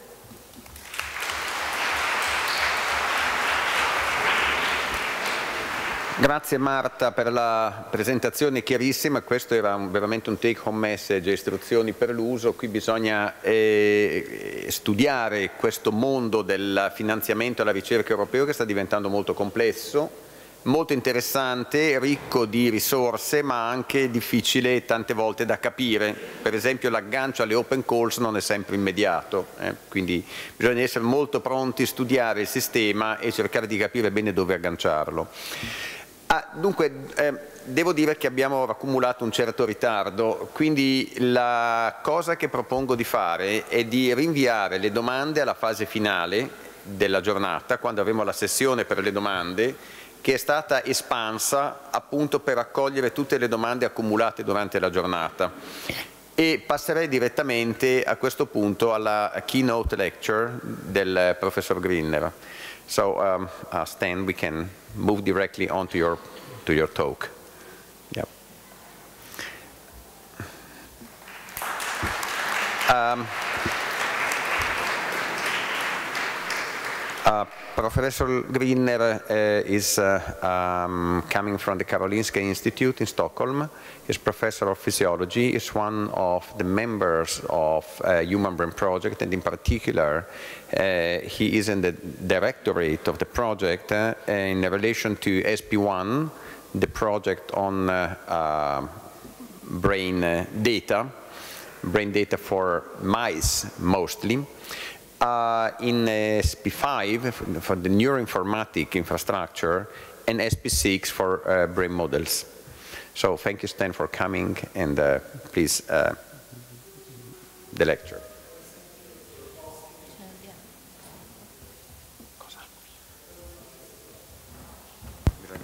Okay, better. So thank you for asking me to come uh, and uh, and take part in this inauguration of the Italian Human Brain Project, although not being particularly Italian. So I will talk about understanding the brain through simulation and experimentation. And as uh, Egidio said initially, I think that the brain cannot be understand, uh, understood without modeling. And essentially, that is due to the fact that the brain is so complex, so that you have a number of dynamically interacting processes, which is difficult to figure out. And I mean, it applies to the level of the single cell and synapses because it's dynamically interacting processes it, uh, it applies to the level of networks and produced by behavior, mental states, diseases. So modeling is a very important technique for understanding the brain.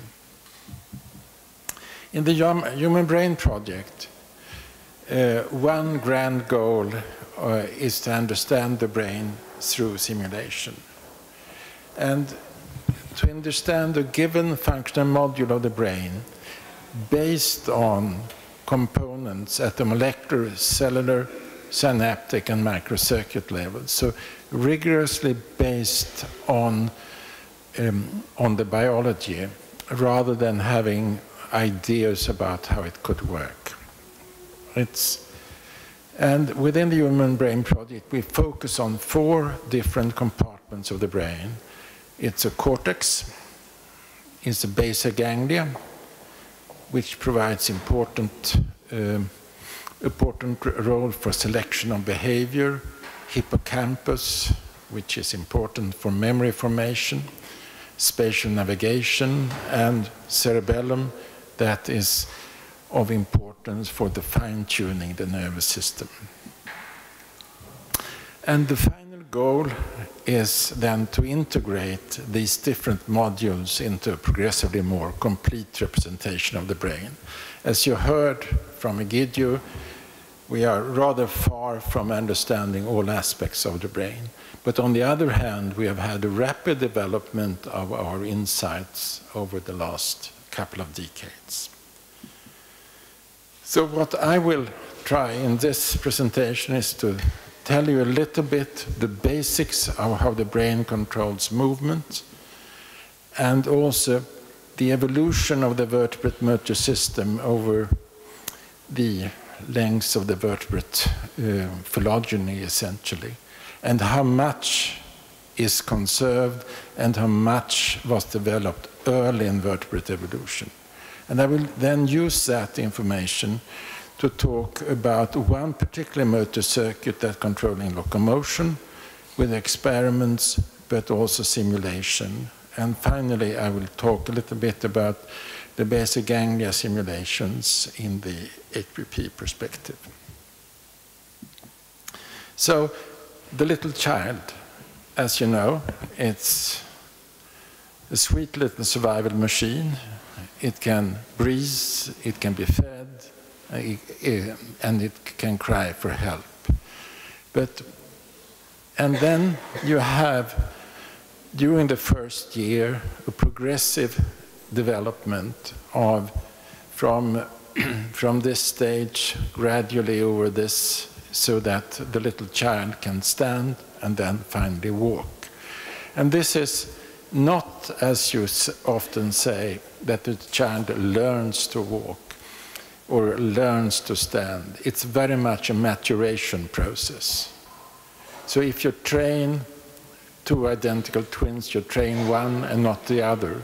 The trained one will start to walk approximately after a year in the morning and the untrained one in the afternoon. So essentially, it's very much a maturation process with regard to these basic things, which doesn't, of course, mean that you, you have um, many aspects of the environment that would be important for the child.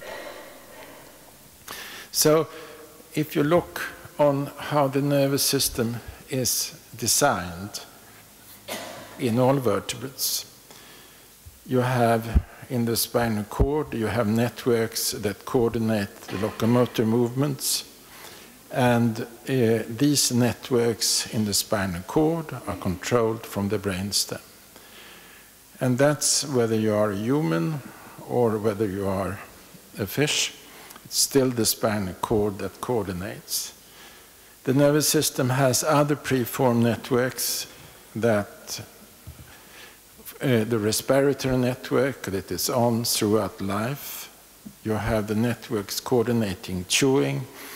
So the, these microcircuits contain all the necessary information to coordinate these movements. You have in the midbrain, you have uh, circuits that control the eye movements. So different points in the midbrain will initiate an eye movement, an orienting movement in a given direction, and another one. So that's a little bit more complex. And you have the different expression of, of emotions. Humans have about seven. What this little guy likes to express, I think, is pretty obvious. And having all these different motor programs, I've listed a few here from, from protective reflexes over swallowing, locomotion, chewing, expression of emotions, eye, motor map, reaching, etc.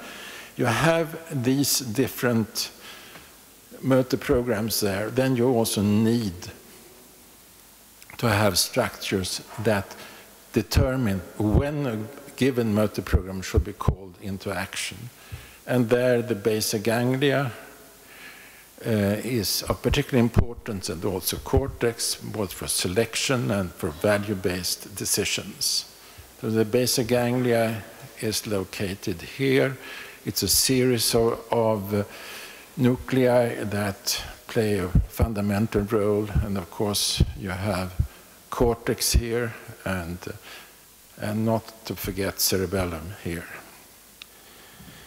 So um, if you take one specific uh, coordination, quite complex, actually it's that controlling locomotion. As I said earlier, you have networks in the spinal cord that, co that can be called into action and then elicits the coordinated locomotor movements.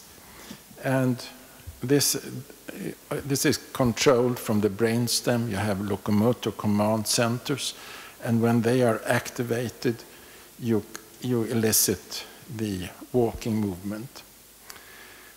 In a fish, it will start swimming. In a bird, it will start walking and stimulating a little bit more. You will have, it will start flapping the wings. And exactly the same structure works in mammals and man. So this is enough to elicit the uh, locomotor movements. And then, of course, you need to have steering movements to direct the movements. You need to maintain balance. And having this, you have what is required to coordinate goal-directed locomotion. And then, of course, you need to have the structure that control that. And I will talk a little bit about this, a little bit about this, and finally a little bit about this. So um, what we have done over the years is to, instead of initially when we worked on this level, trying to predict things about this guy. Uh, we, in order to facilitate the analysis, we went to a, a more this, the level of the fish, or even more primitive than that, and then to try to predict there. And the general design of the nervous system in vertebrates is common with regards cells, synapses, and networks. So we went as far down as you can uh, imagine uh, within the vertebrate to the most primitive now living vertebrate. And that's the lamprey, which has diverged from the main vertebrate line quite some time ago, as you can see. And it has developed all basic features of the vertebrate nervous system, although cerebellum is less developed than, than the others. And I will first address the, the question of phylogeny. So you have the lampreys here, you have the mammals here, and I'm going to explore to, to what a degree they are similar. Um, essentially, the common wisdom until this year has been that the cortex of mammals originates from reptiles, and that's where it started. And I will show to you that it actually started a little bit earlier. So I will give the evidence for this. And uh, so the forebrain organization, what we will ask for, first now is, um, does it have a motor cortex? To cortex control movements? Do they have basal ganglia? Do they have the dopamine system? I will not talk about that, but they do have an extremely well developed dopamine system and also have been. But now the first part is motor cortex. So essentially, the little lamprey has a tiny little bit here which corresponds to what, um, what becomes cortex in um, mammals and man. It contains neurons that are located here, extend the dendrites to the, the molecular layer. It, uh, it has uh, spines, uh, which is a learning device of the brain, and which, do, which invertebrates do not have. And what we did some years ago now was that we decided to stimulate this area, which we thought would not produce movement, but actually we could produce well-controlled eye movements, we could produce well-controlled orienting movements and swimming movements and also oral movements.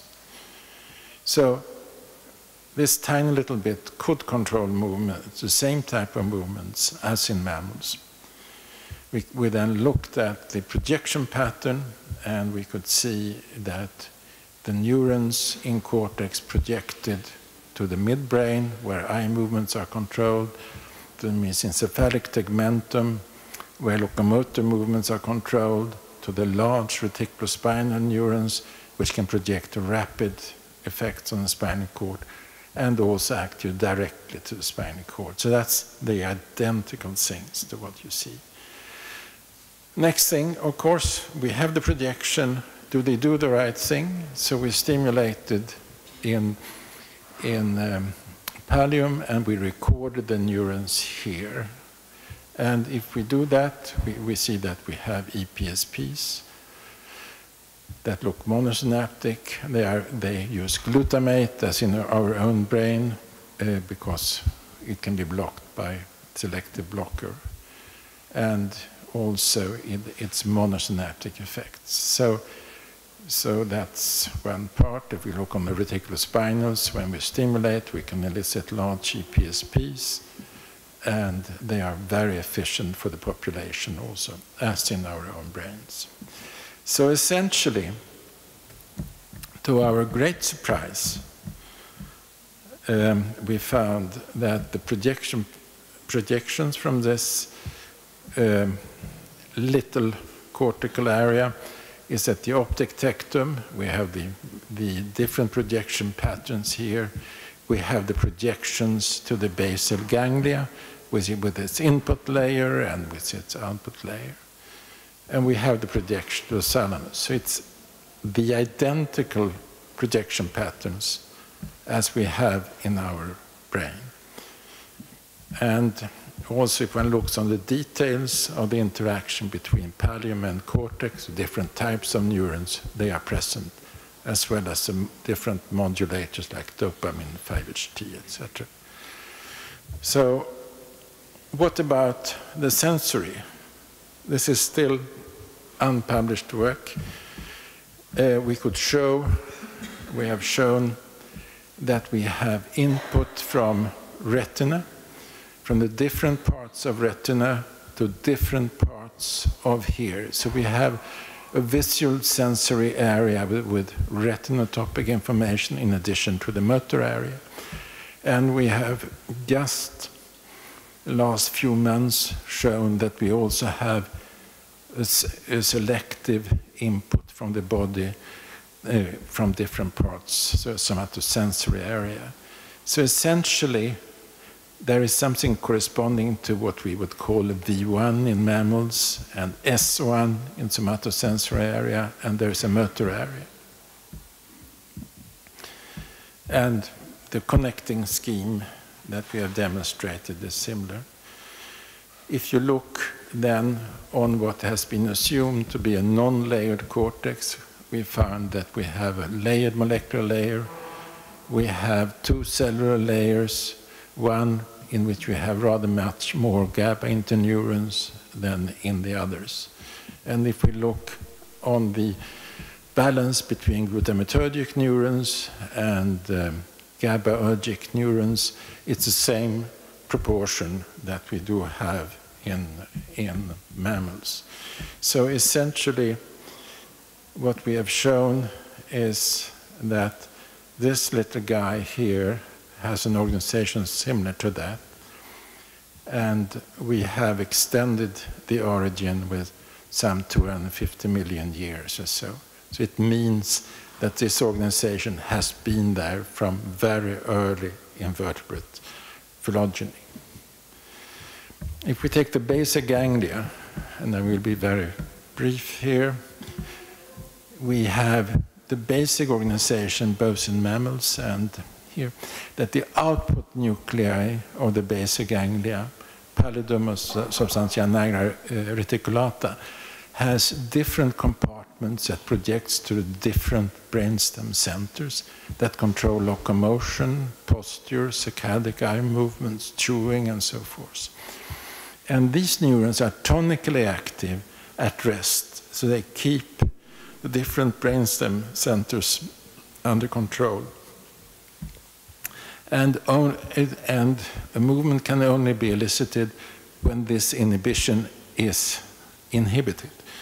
And that can happen from the input level of the basal ganglia, the striatum, which receives input then from cortex, commands, perhaps you could say, but also from thalamus. And then, of course, you have the dopamine input here that determines the, the responsiveness of striatum. Too little dopamine, and you will have Parkinson's in practically all vertebrates tested. And if you have too much activity here, you get hyperkinesias and, and you initiate, the brain initiates uh, movements that are not intended, as you have often the side effect of the dopa treatment. Most of you know that this is a simplified image here. So we have striatum, the direct pathway here that can inhibit these and thereby release movements. But we also have the intrinsic nuclei that are controlled by a separate set of neurons from, from striatum. And the net effect of that is that you increase the activity here, and thereby you can stop a movement immediately. Now, in a long series of papers, we detailed this in, uh, in the lamprey. And our anticipation was that we should have a very simplistic, simplified organization. But the more we looked, the more we found that practically all items of this organization is present in the lamprey and mammals. The, at the input level, at the different D1, substance P, D2, and cephalin, the different ion channels expressed, the master switch molecules present, the, the, the different types of interneurons, cholinergic, fast spiking interneurons. If the other subtypes ex exist, we do not know. At the output level, the indirect loop and even the hyperdirect loop. So, so it's, it's as if this uh, circuit was designed to control behavior, and it was designed very early in vertebrate evolution.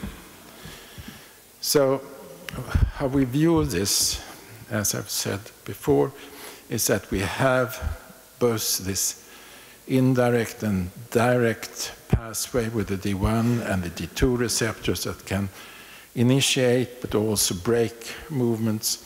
We have different modules that control different types of movement, sets of movements. And whether they are activated or not depends on the input from cortex, thalamus, and the responsiveness is dependent on the dopamine. Now, what has happened in evolution is, is that, um, that this organization has been conserved but uh, uh, the lamprey has a rather simple behavioral, um, uh, it can perform rather few behaviors. And with development and with progressively more complex patterns of behavior, you have added more and more circuits. So essentially, what we have shown is then that, that not only cortex is there, but also the basal ganglia. These are the two main players in the terms of the control of behavior in mammals. And the, the design was then developed very early on. At this point, when the lamprey diverged from the main vertebrate line, some 560 million years ago. And um, that's good news for neuroscientists in, in that you have so much already there. Now I will then move from this level to that level and include a little bit more of simulation. So I will talk about how this microcircuit operates. So essentially, what we established in a long series of papers quite some time ago now was that the rhythmic activity in locomotion, you get alternation between left and right side in a segment. You have pools of excitatory interneurons that interact and can generate the burst activity on each side. And then you have inhibitory neurons from one side that inhibits the others. So these generate a burst, and when, when these are bursting, the other will be inhibited and vice versa. So essentially, there's an excitatory core of spinal glutamate neurons generating burst activity and inhibitory neurons. And the burst mechanism depends on the synaptic interaction plus the properties at the ion channel levels of these cells. Uh, so when you have ongoing activity, you activate NMDA receptors, you get calcium flowing into these cells, which uh, during a burst will cause a, an accumulation of calcium, activating potassium channels, which will gradually hyperpolarize the cells. We also have sodium activated uh, uh, potassium channels, which contribute during a high level of activity. And I will not give you the details of that. I have touched that. But if you look on the burst activity, you can choose to believe what I said and feel that that is uh, explaining things. But to test if the dynamic interaction of the ion channels and the cells, etc., really can account, that's when modeling comes in. And now, quite some time ago, we modeled these neurons in great detail so that the model neurons had the same properties as, uh, as their natural counterparts. So they had the same action potentials, the same currents here, the same after potential, and if they were activated, they responded in the same way. We then also simulated the excitation, so we had both voltage-dependent NMDA receptors that can permit calcium, and also the AMPA receptors. And we incorporated the different ion channels that we had established. But the feedback was, was of course, that the, new, the modern neurons should do exactly or almost exactly what their biological counterparts did.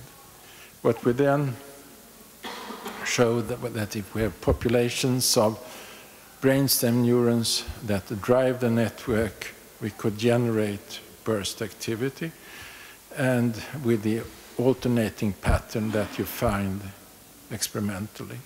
And moreover, we could generate the pattern uh, in the same frequency range that we would see behaviorally from about 0.2 hertz up to 10 hertz or something like this. So what that showed was that we had sufficient experimental information to account for the behavior. You can never show something with modeling, but you can show that it's compatible with the data and the explanation was, was sufficient. This was on a segmental level. Now, the lamprey, of course, swims with undulatory movements. You have about 100 segments along the body. If you take the isolated spinal cord, it generates the same pattern if it's excited. But the lamprey, if caught in a corner, it can reverse this and swim backwards also if you provide extra excitation or, or inhibition here.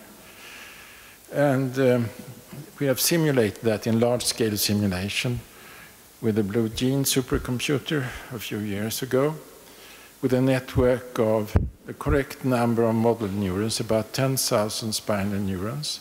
And these are compartmental neurons with all the complexity they are not point neurons.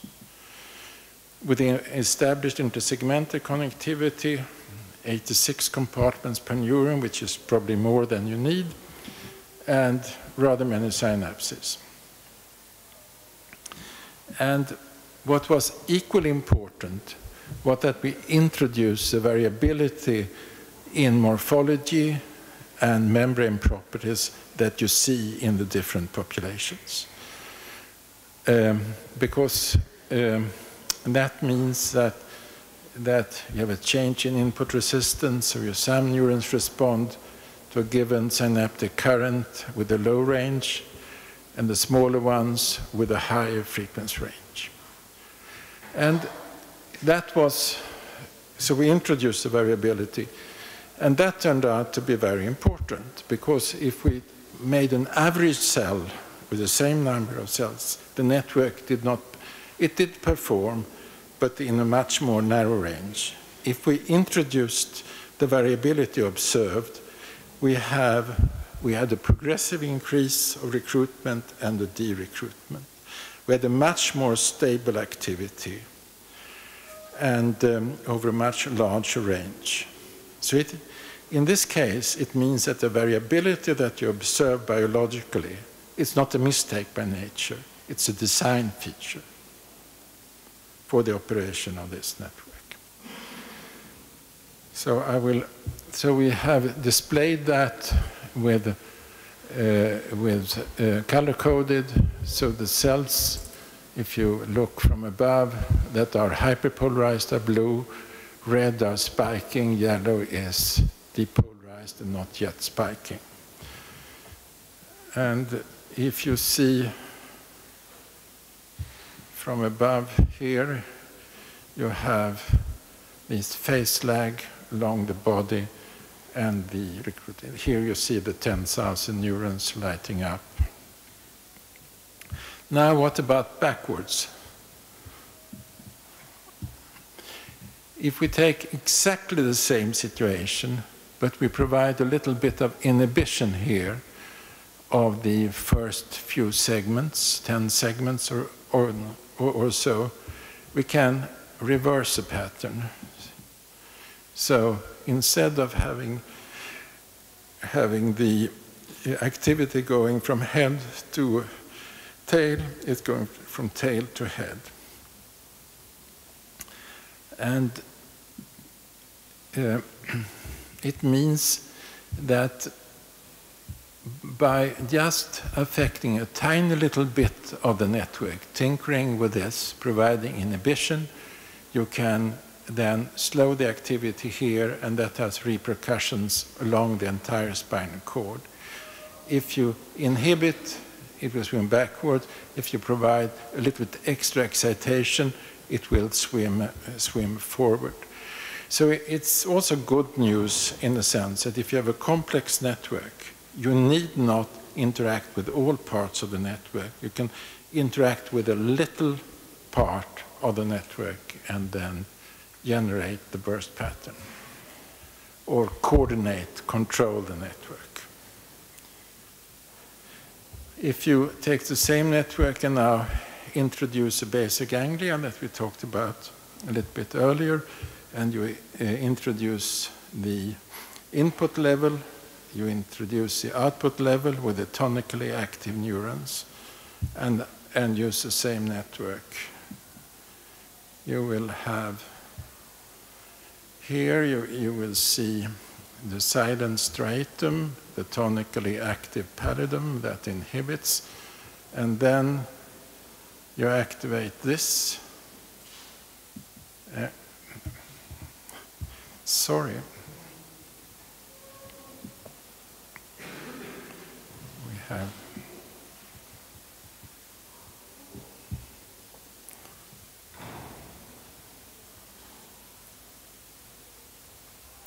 activate this,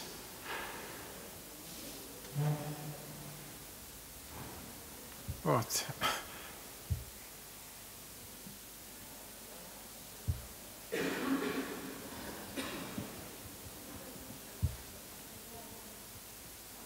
So, so the, the simulation, I interfered with, with the simulation, so you have to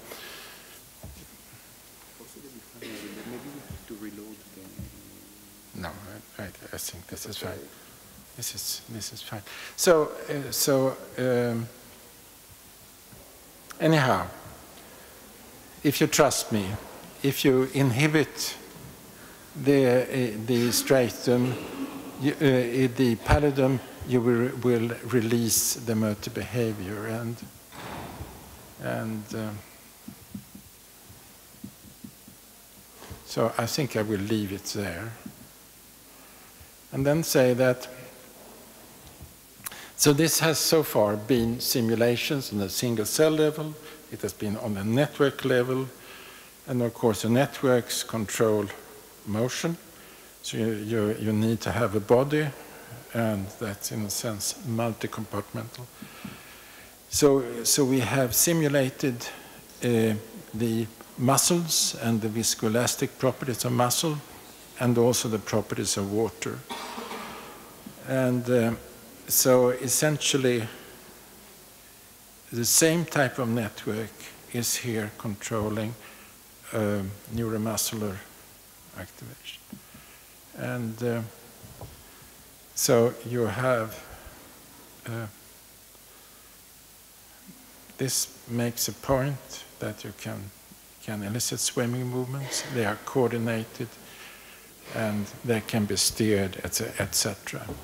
And it's actually rather useful also for the understanding, not only to, to, to, have the network simulation, that's one level, but also having the mechanical things. And we've done a lot with the steering control, etc., and I have not in, included that. But but it's uh,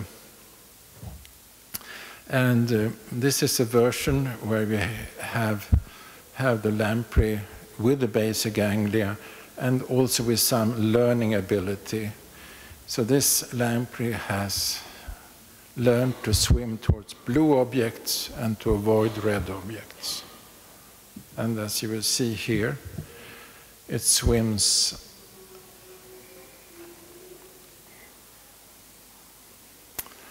and targets the blue object. So that's a little bit a play, but, uh, but it uh, also illustrates how the basic ganglia circuits, with the plasticity that is present, can do that. Now I will go.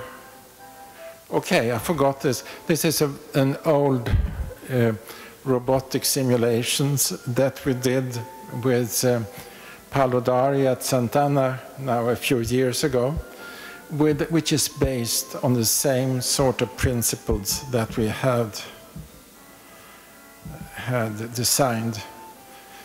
And it swims actually better with music and, uh, than without.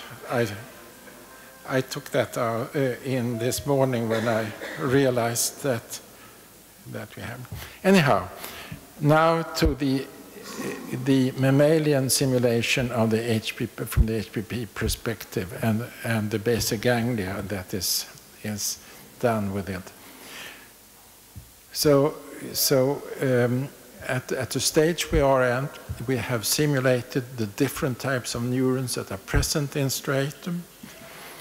And they, as before, with their detailed morphology, their detailed expression of ion channels, also based on, uh, on sequencing of the different um, RNAs uh, present in the different subtypes and the overall membrane properties.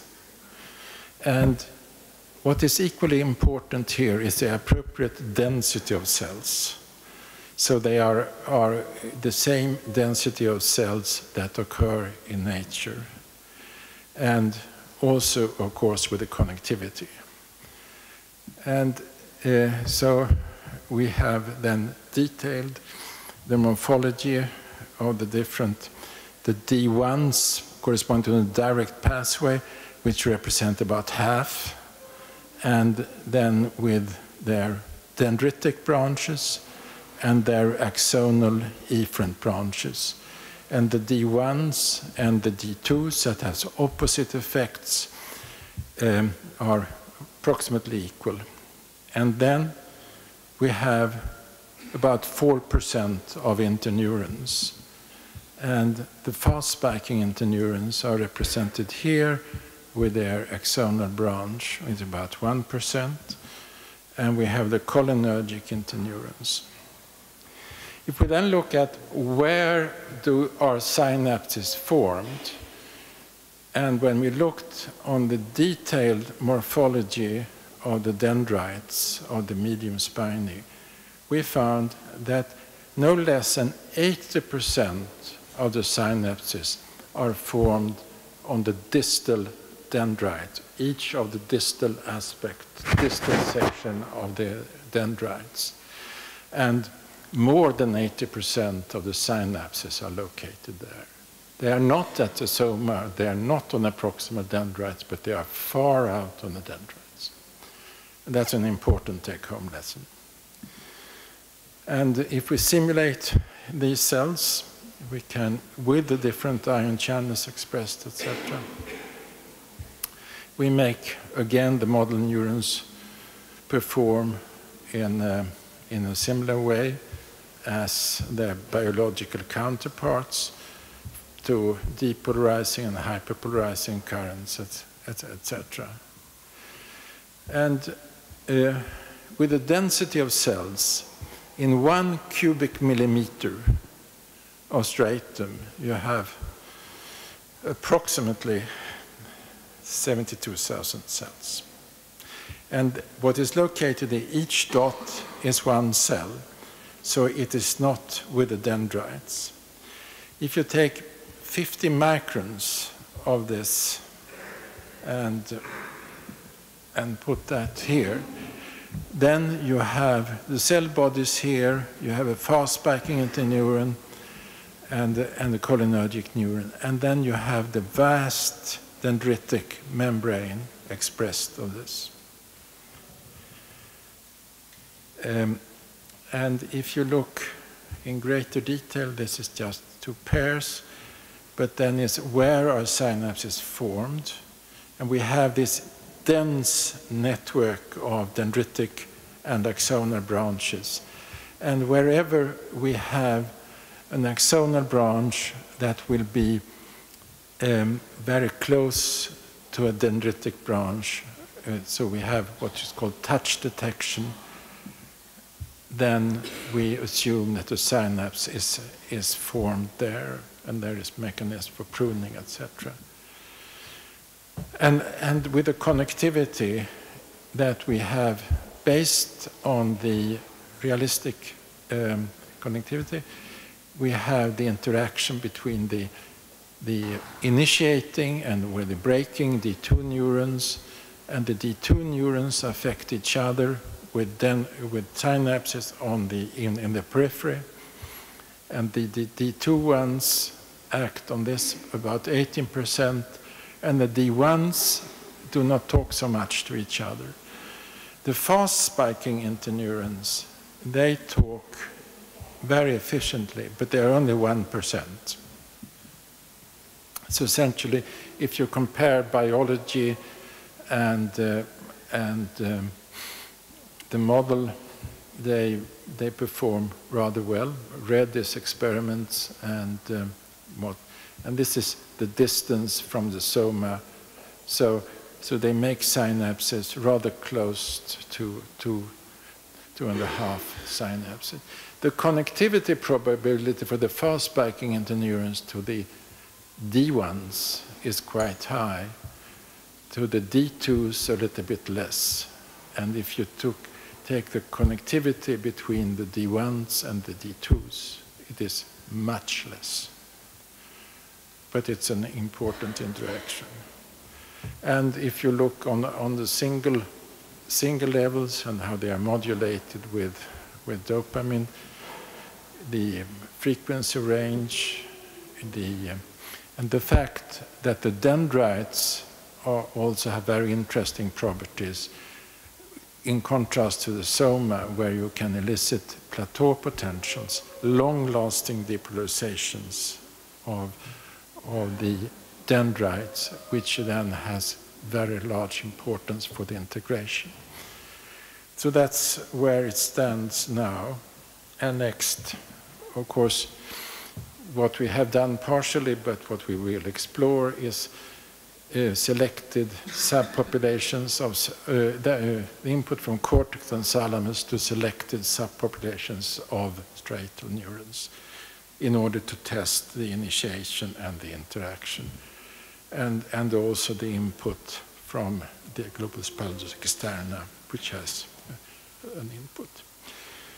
So, so this is where we stand on this. So one can say that from the network simulations on different levels that we have done, which is still very detailed on the Lamprey, this is one step further when we have the correct density of cells, the, the correct or, or further elaborated um, control of ion channels expressed, morphology expressed, and activity expressed, which will be critical for understanding also the role of the different ion channels. So this is an animation from the from EPFL and the Human Brain Project. It didn't like to come,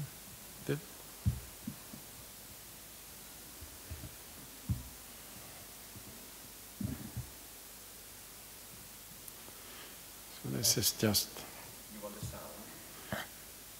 I don't have the sound here, so so I think we will travel through the brain a little bit just to um,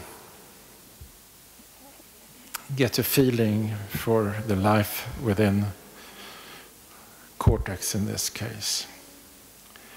How silent it can be, how little activity it can be, and finally, when something happens, how very intense it can be.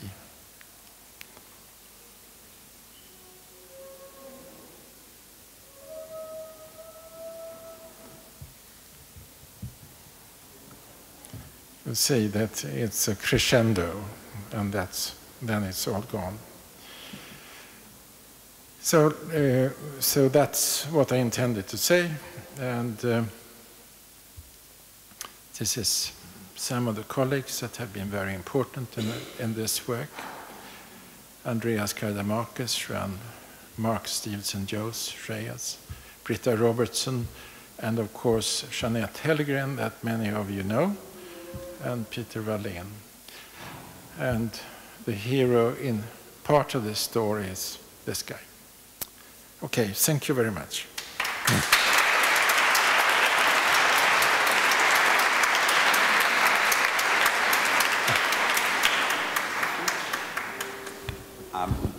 Thank you, Stan, for the uh, very nice presentation. I think you have seen a, an example of uh, biology, evolution, modeling up to the robots, and then explanation on how the system might work. I think this is what is the uh, sort of um, track that we follow uh, in order to uh, resolve functioning in the brain through models. I think we have time for some questions because now we're waiting for the director, uh, but in the, he's coming. But in the meanwhile, we can start with some questions in case, and then we stop when the director comes. Eh? So if there are any questions for Stan,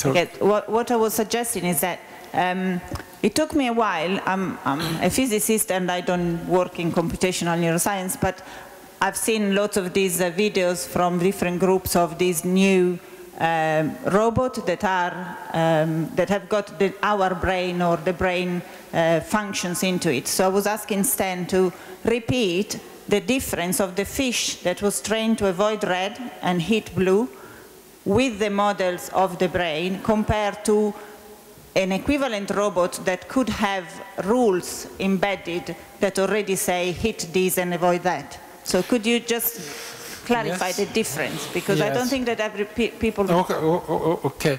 So, so what is special about the fish or the lamprey is that all details of the circuitry is built bottom up. So we know every single cell. We know that the, that the network operates in this way. We know how the basal ganglia interferes, or, or rather produces behavior, and the plasticity there. So it's, it's based in detailed on, on, on, on biology. Most robots are sort of top down with some inspiration from the brain. And that's also interesting, but it's a different thing.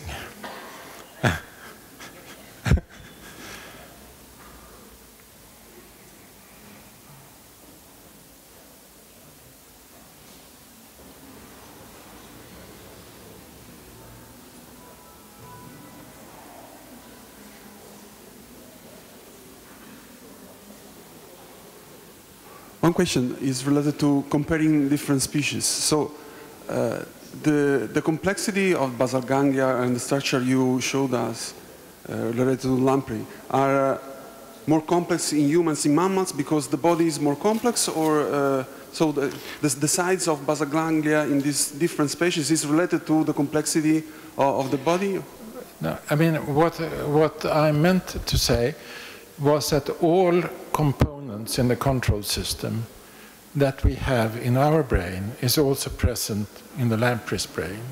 The difference is that it's much fewer neurons, much fewer modules, and which is fine for the lamprey, but for, for mammals or man, we need to have many more modules. And what has happened during evolution is that you have added module after module to, to control our progressively more complex behavior.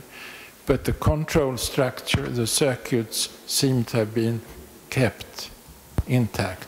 So they were in, uh, invented very early in vertebrate evolution and has been kept, presumably because any change has been for the worse. So, so they have been retained in much the same way as several different ion channels had reached their perfection and any mutation will make them operate less efficiently.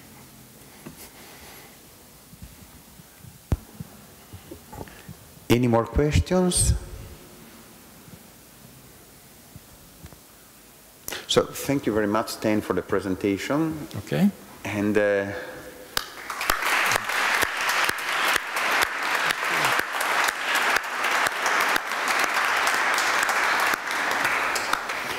Passo adesso la parola al magnifico rettore dell'Università di Pavia.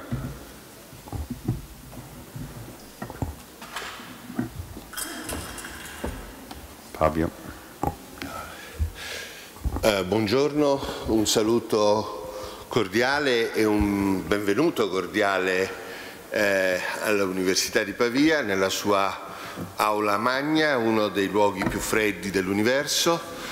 Eh, ma eh, sono convinto che il fervore della riflessione che eh, state svolgendo vi aiuterà a sopportare i rigori di questo inverno pavese. Um, mi scuso per aver dovuto posporre il mio saluto, eh, però volevo assolutamente avere l'occasione di incontrarvi per dirvi tutto l'impegno dell'Università di Pavia in questo eh, importante progetto e in generale al, eh, nel sostegno agli studi in questo campo. La neurologia, eh, le neuroscienze sono uno dei campi più promettenti della ricerca ehm, oggi.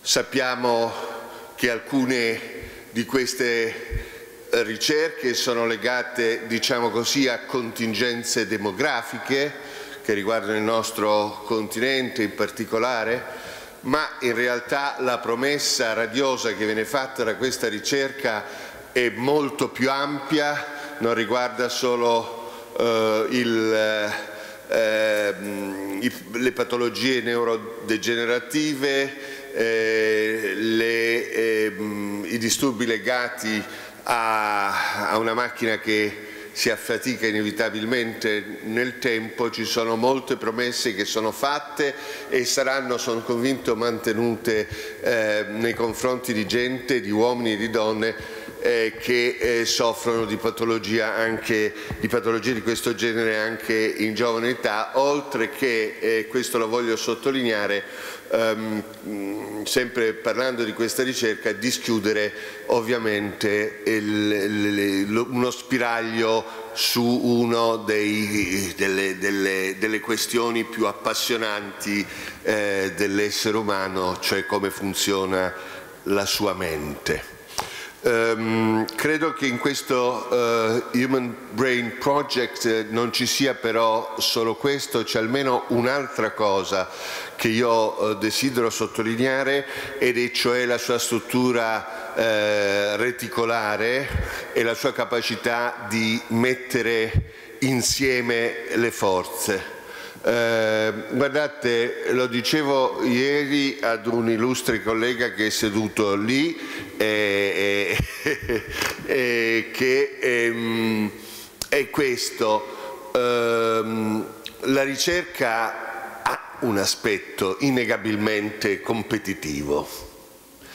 Uh, questo si riverbera sulle istituzioni che fanno ricerca, che sono naturalmente tra loro uh, in competizione.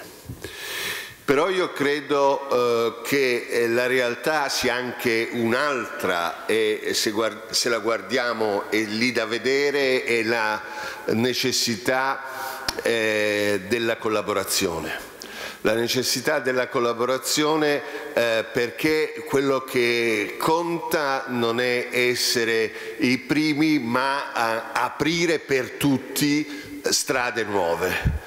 Da questo punto di vista e con questa ottica l'Università di Pavia è impegnata, è impegnato credo tutto il sistema della ricerca scientifica eh, in, in, in, Pavia, penso anche IRCS come il Mondino che è impegnato, a cui appartiene anche il eh, nostro Egidio, eh, che eh, che sono spinti avanti non tanto dall'ansia di competere quanto dall'ansia di portare eh, a compimento quelle promesse di cui dicevo prima. Questo aspetto di collaborazione che è evidentissimo in questi eh, piccoli eh, marchi di, eh, di, fabbrica della ricerca che abbiamo eh, qui è, è, è molto importante e, e quindi desideravo sottolinearlo. Eh, ho parlato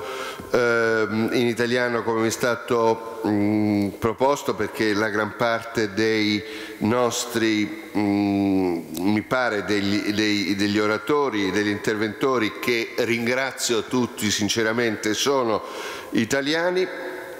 Abbiamo però anche un importante ospite eh, eh, che è anglofono, anglofono è il professor Stel Grillner.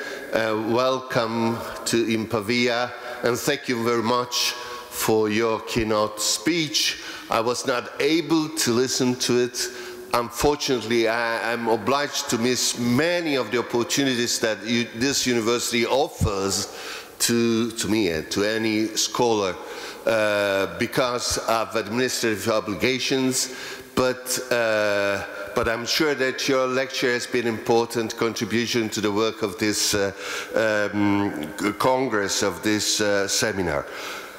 Uh, Human Brain Project, Country Italy, uh, quindi voi portate anche un po' il segno di, questo, uh, di questa ricerca fatta in Italia, avanzata, importante in tutto il mondo, spesso non ne siamo consapevoli, ma eh, è così.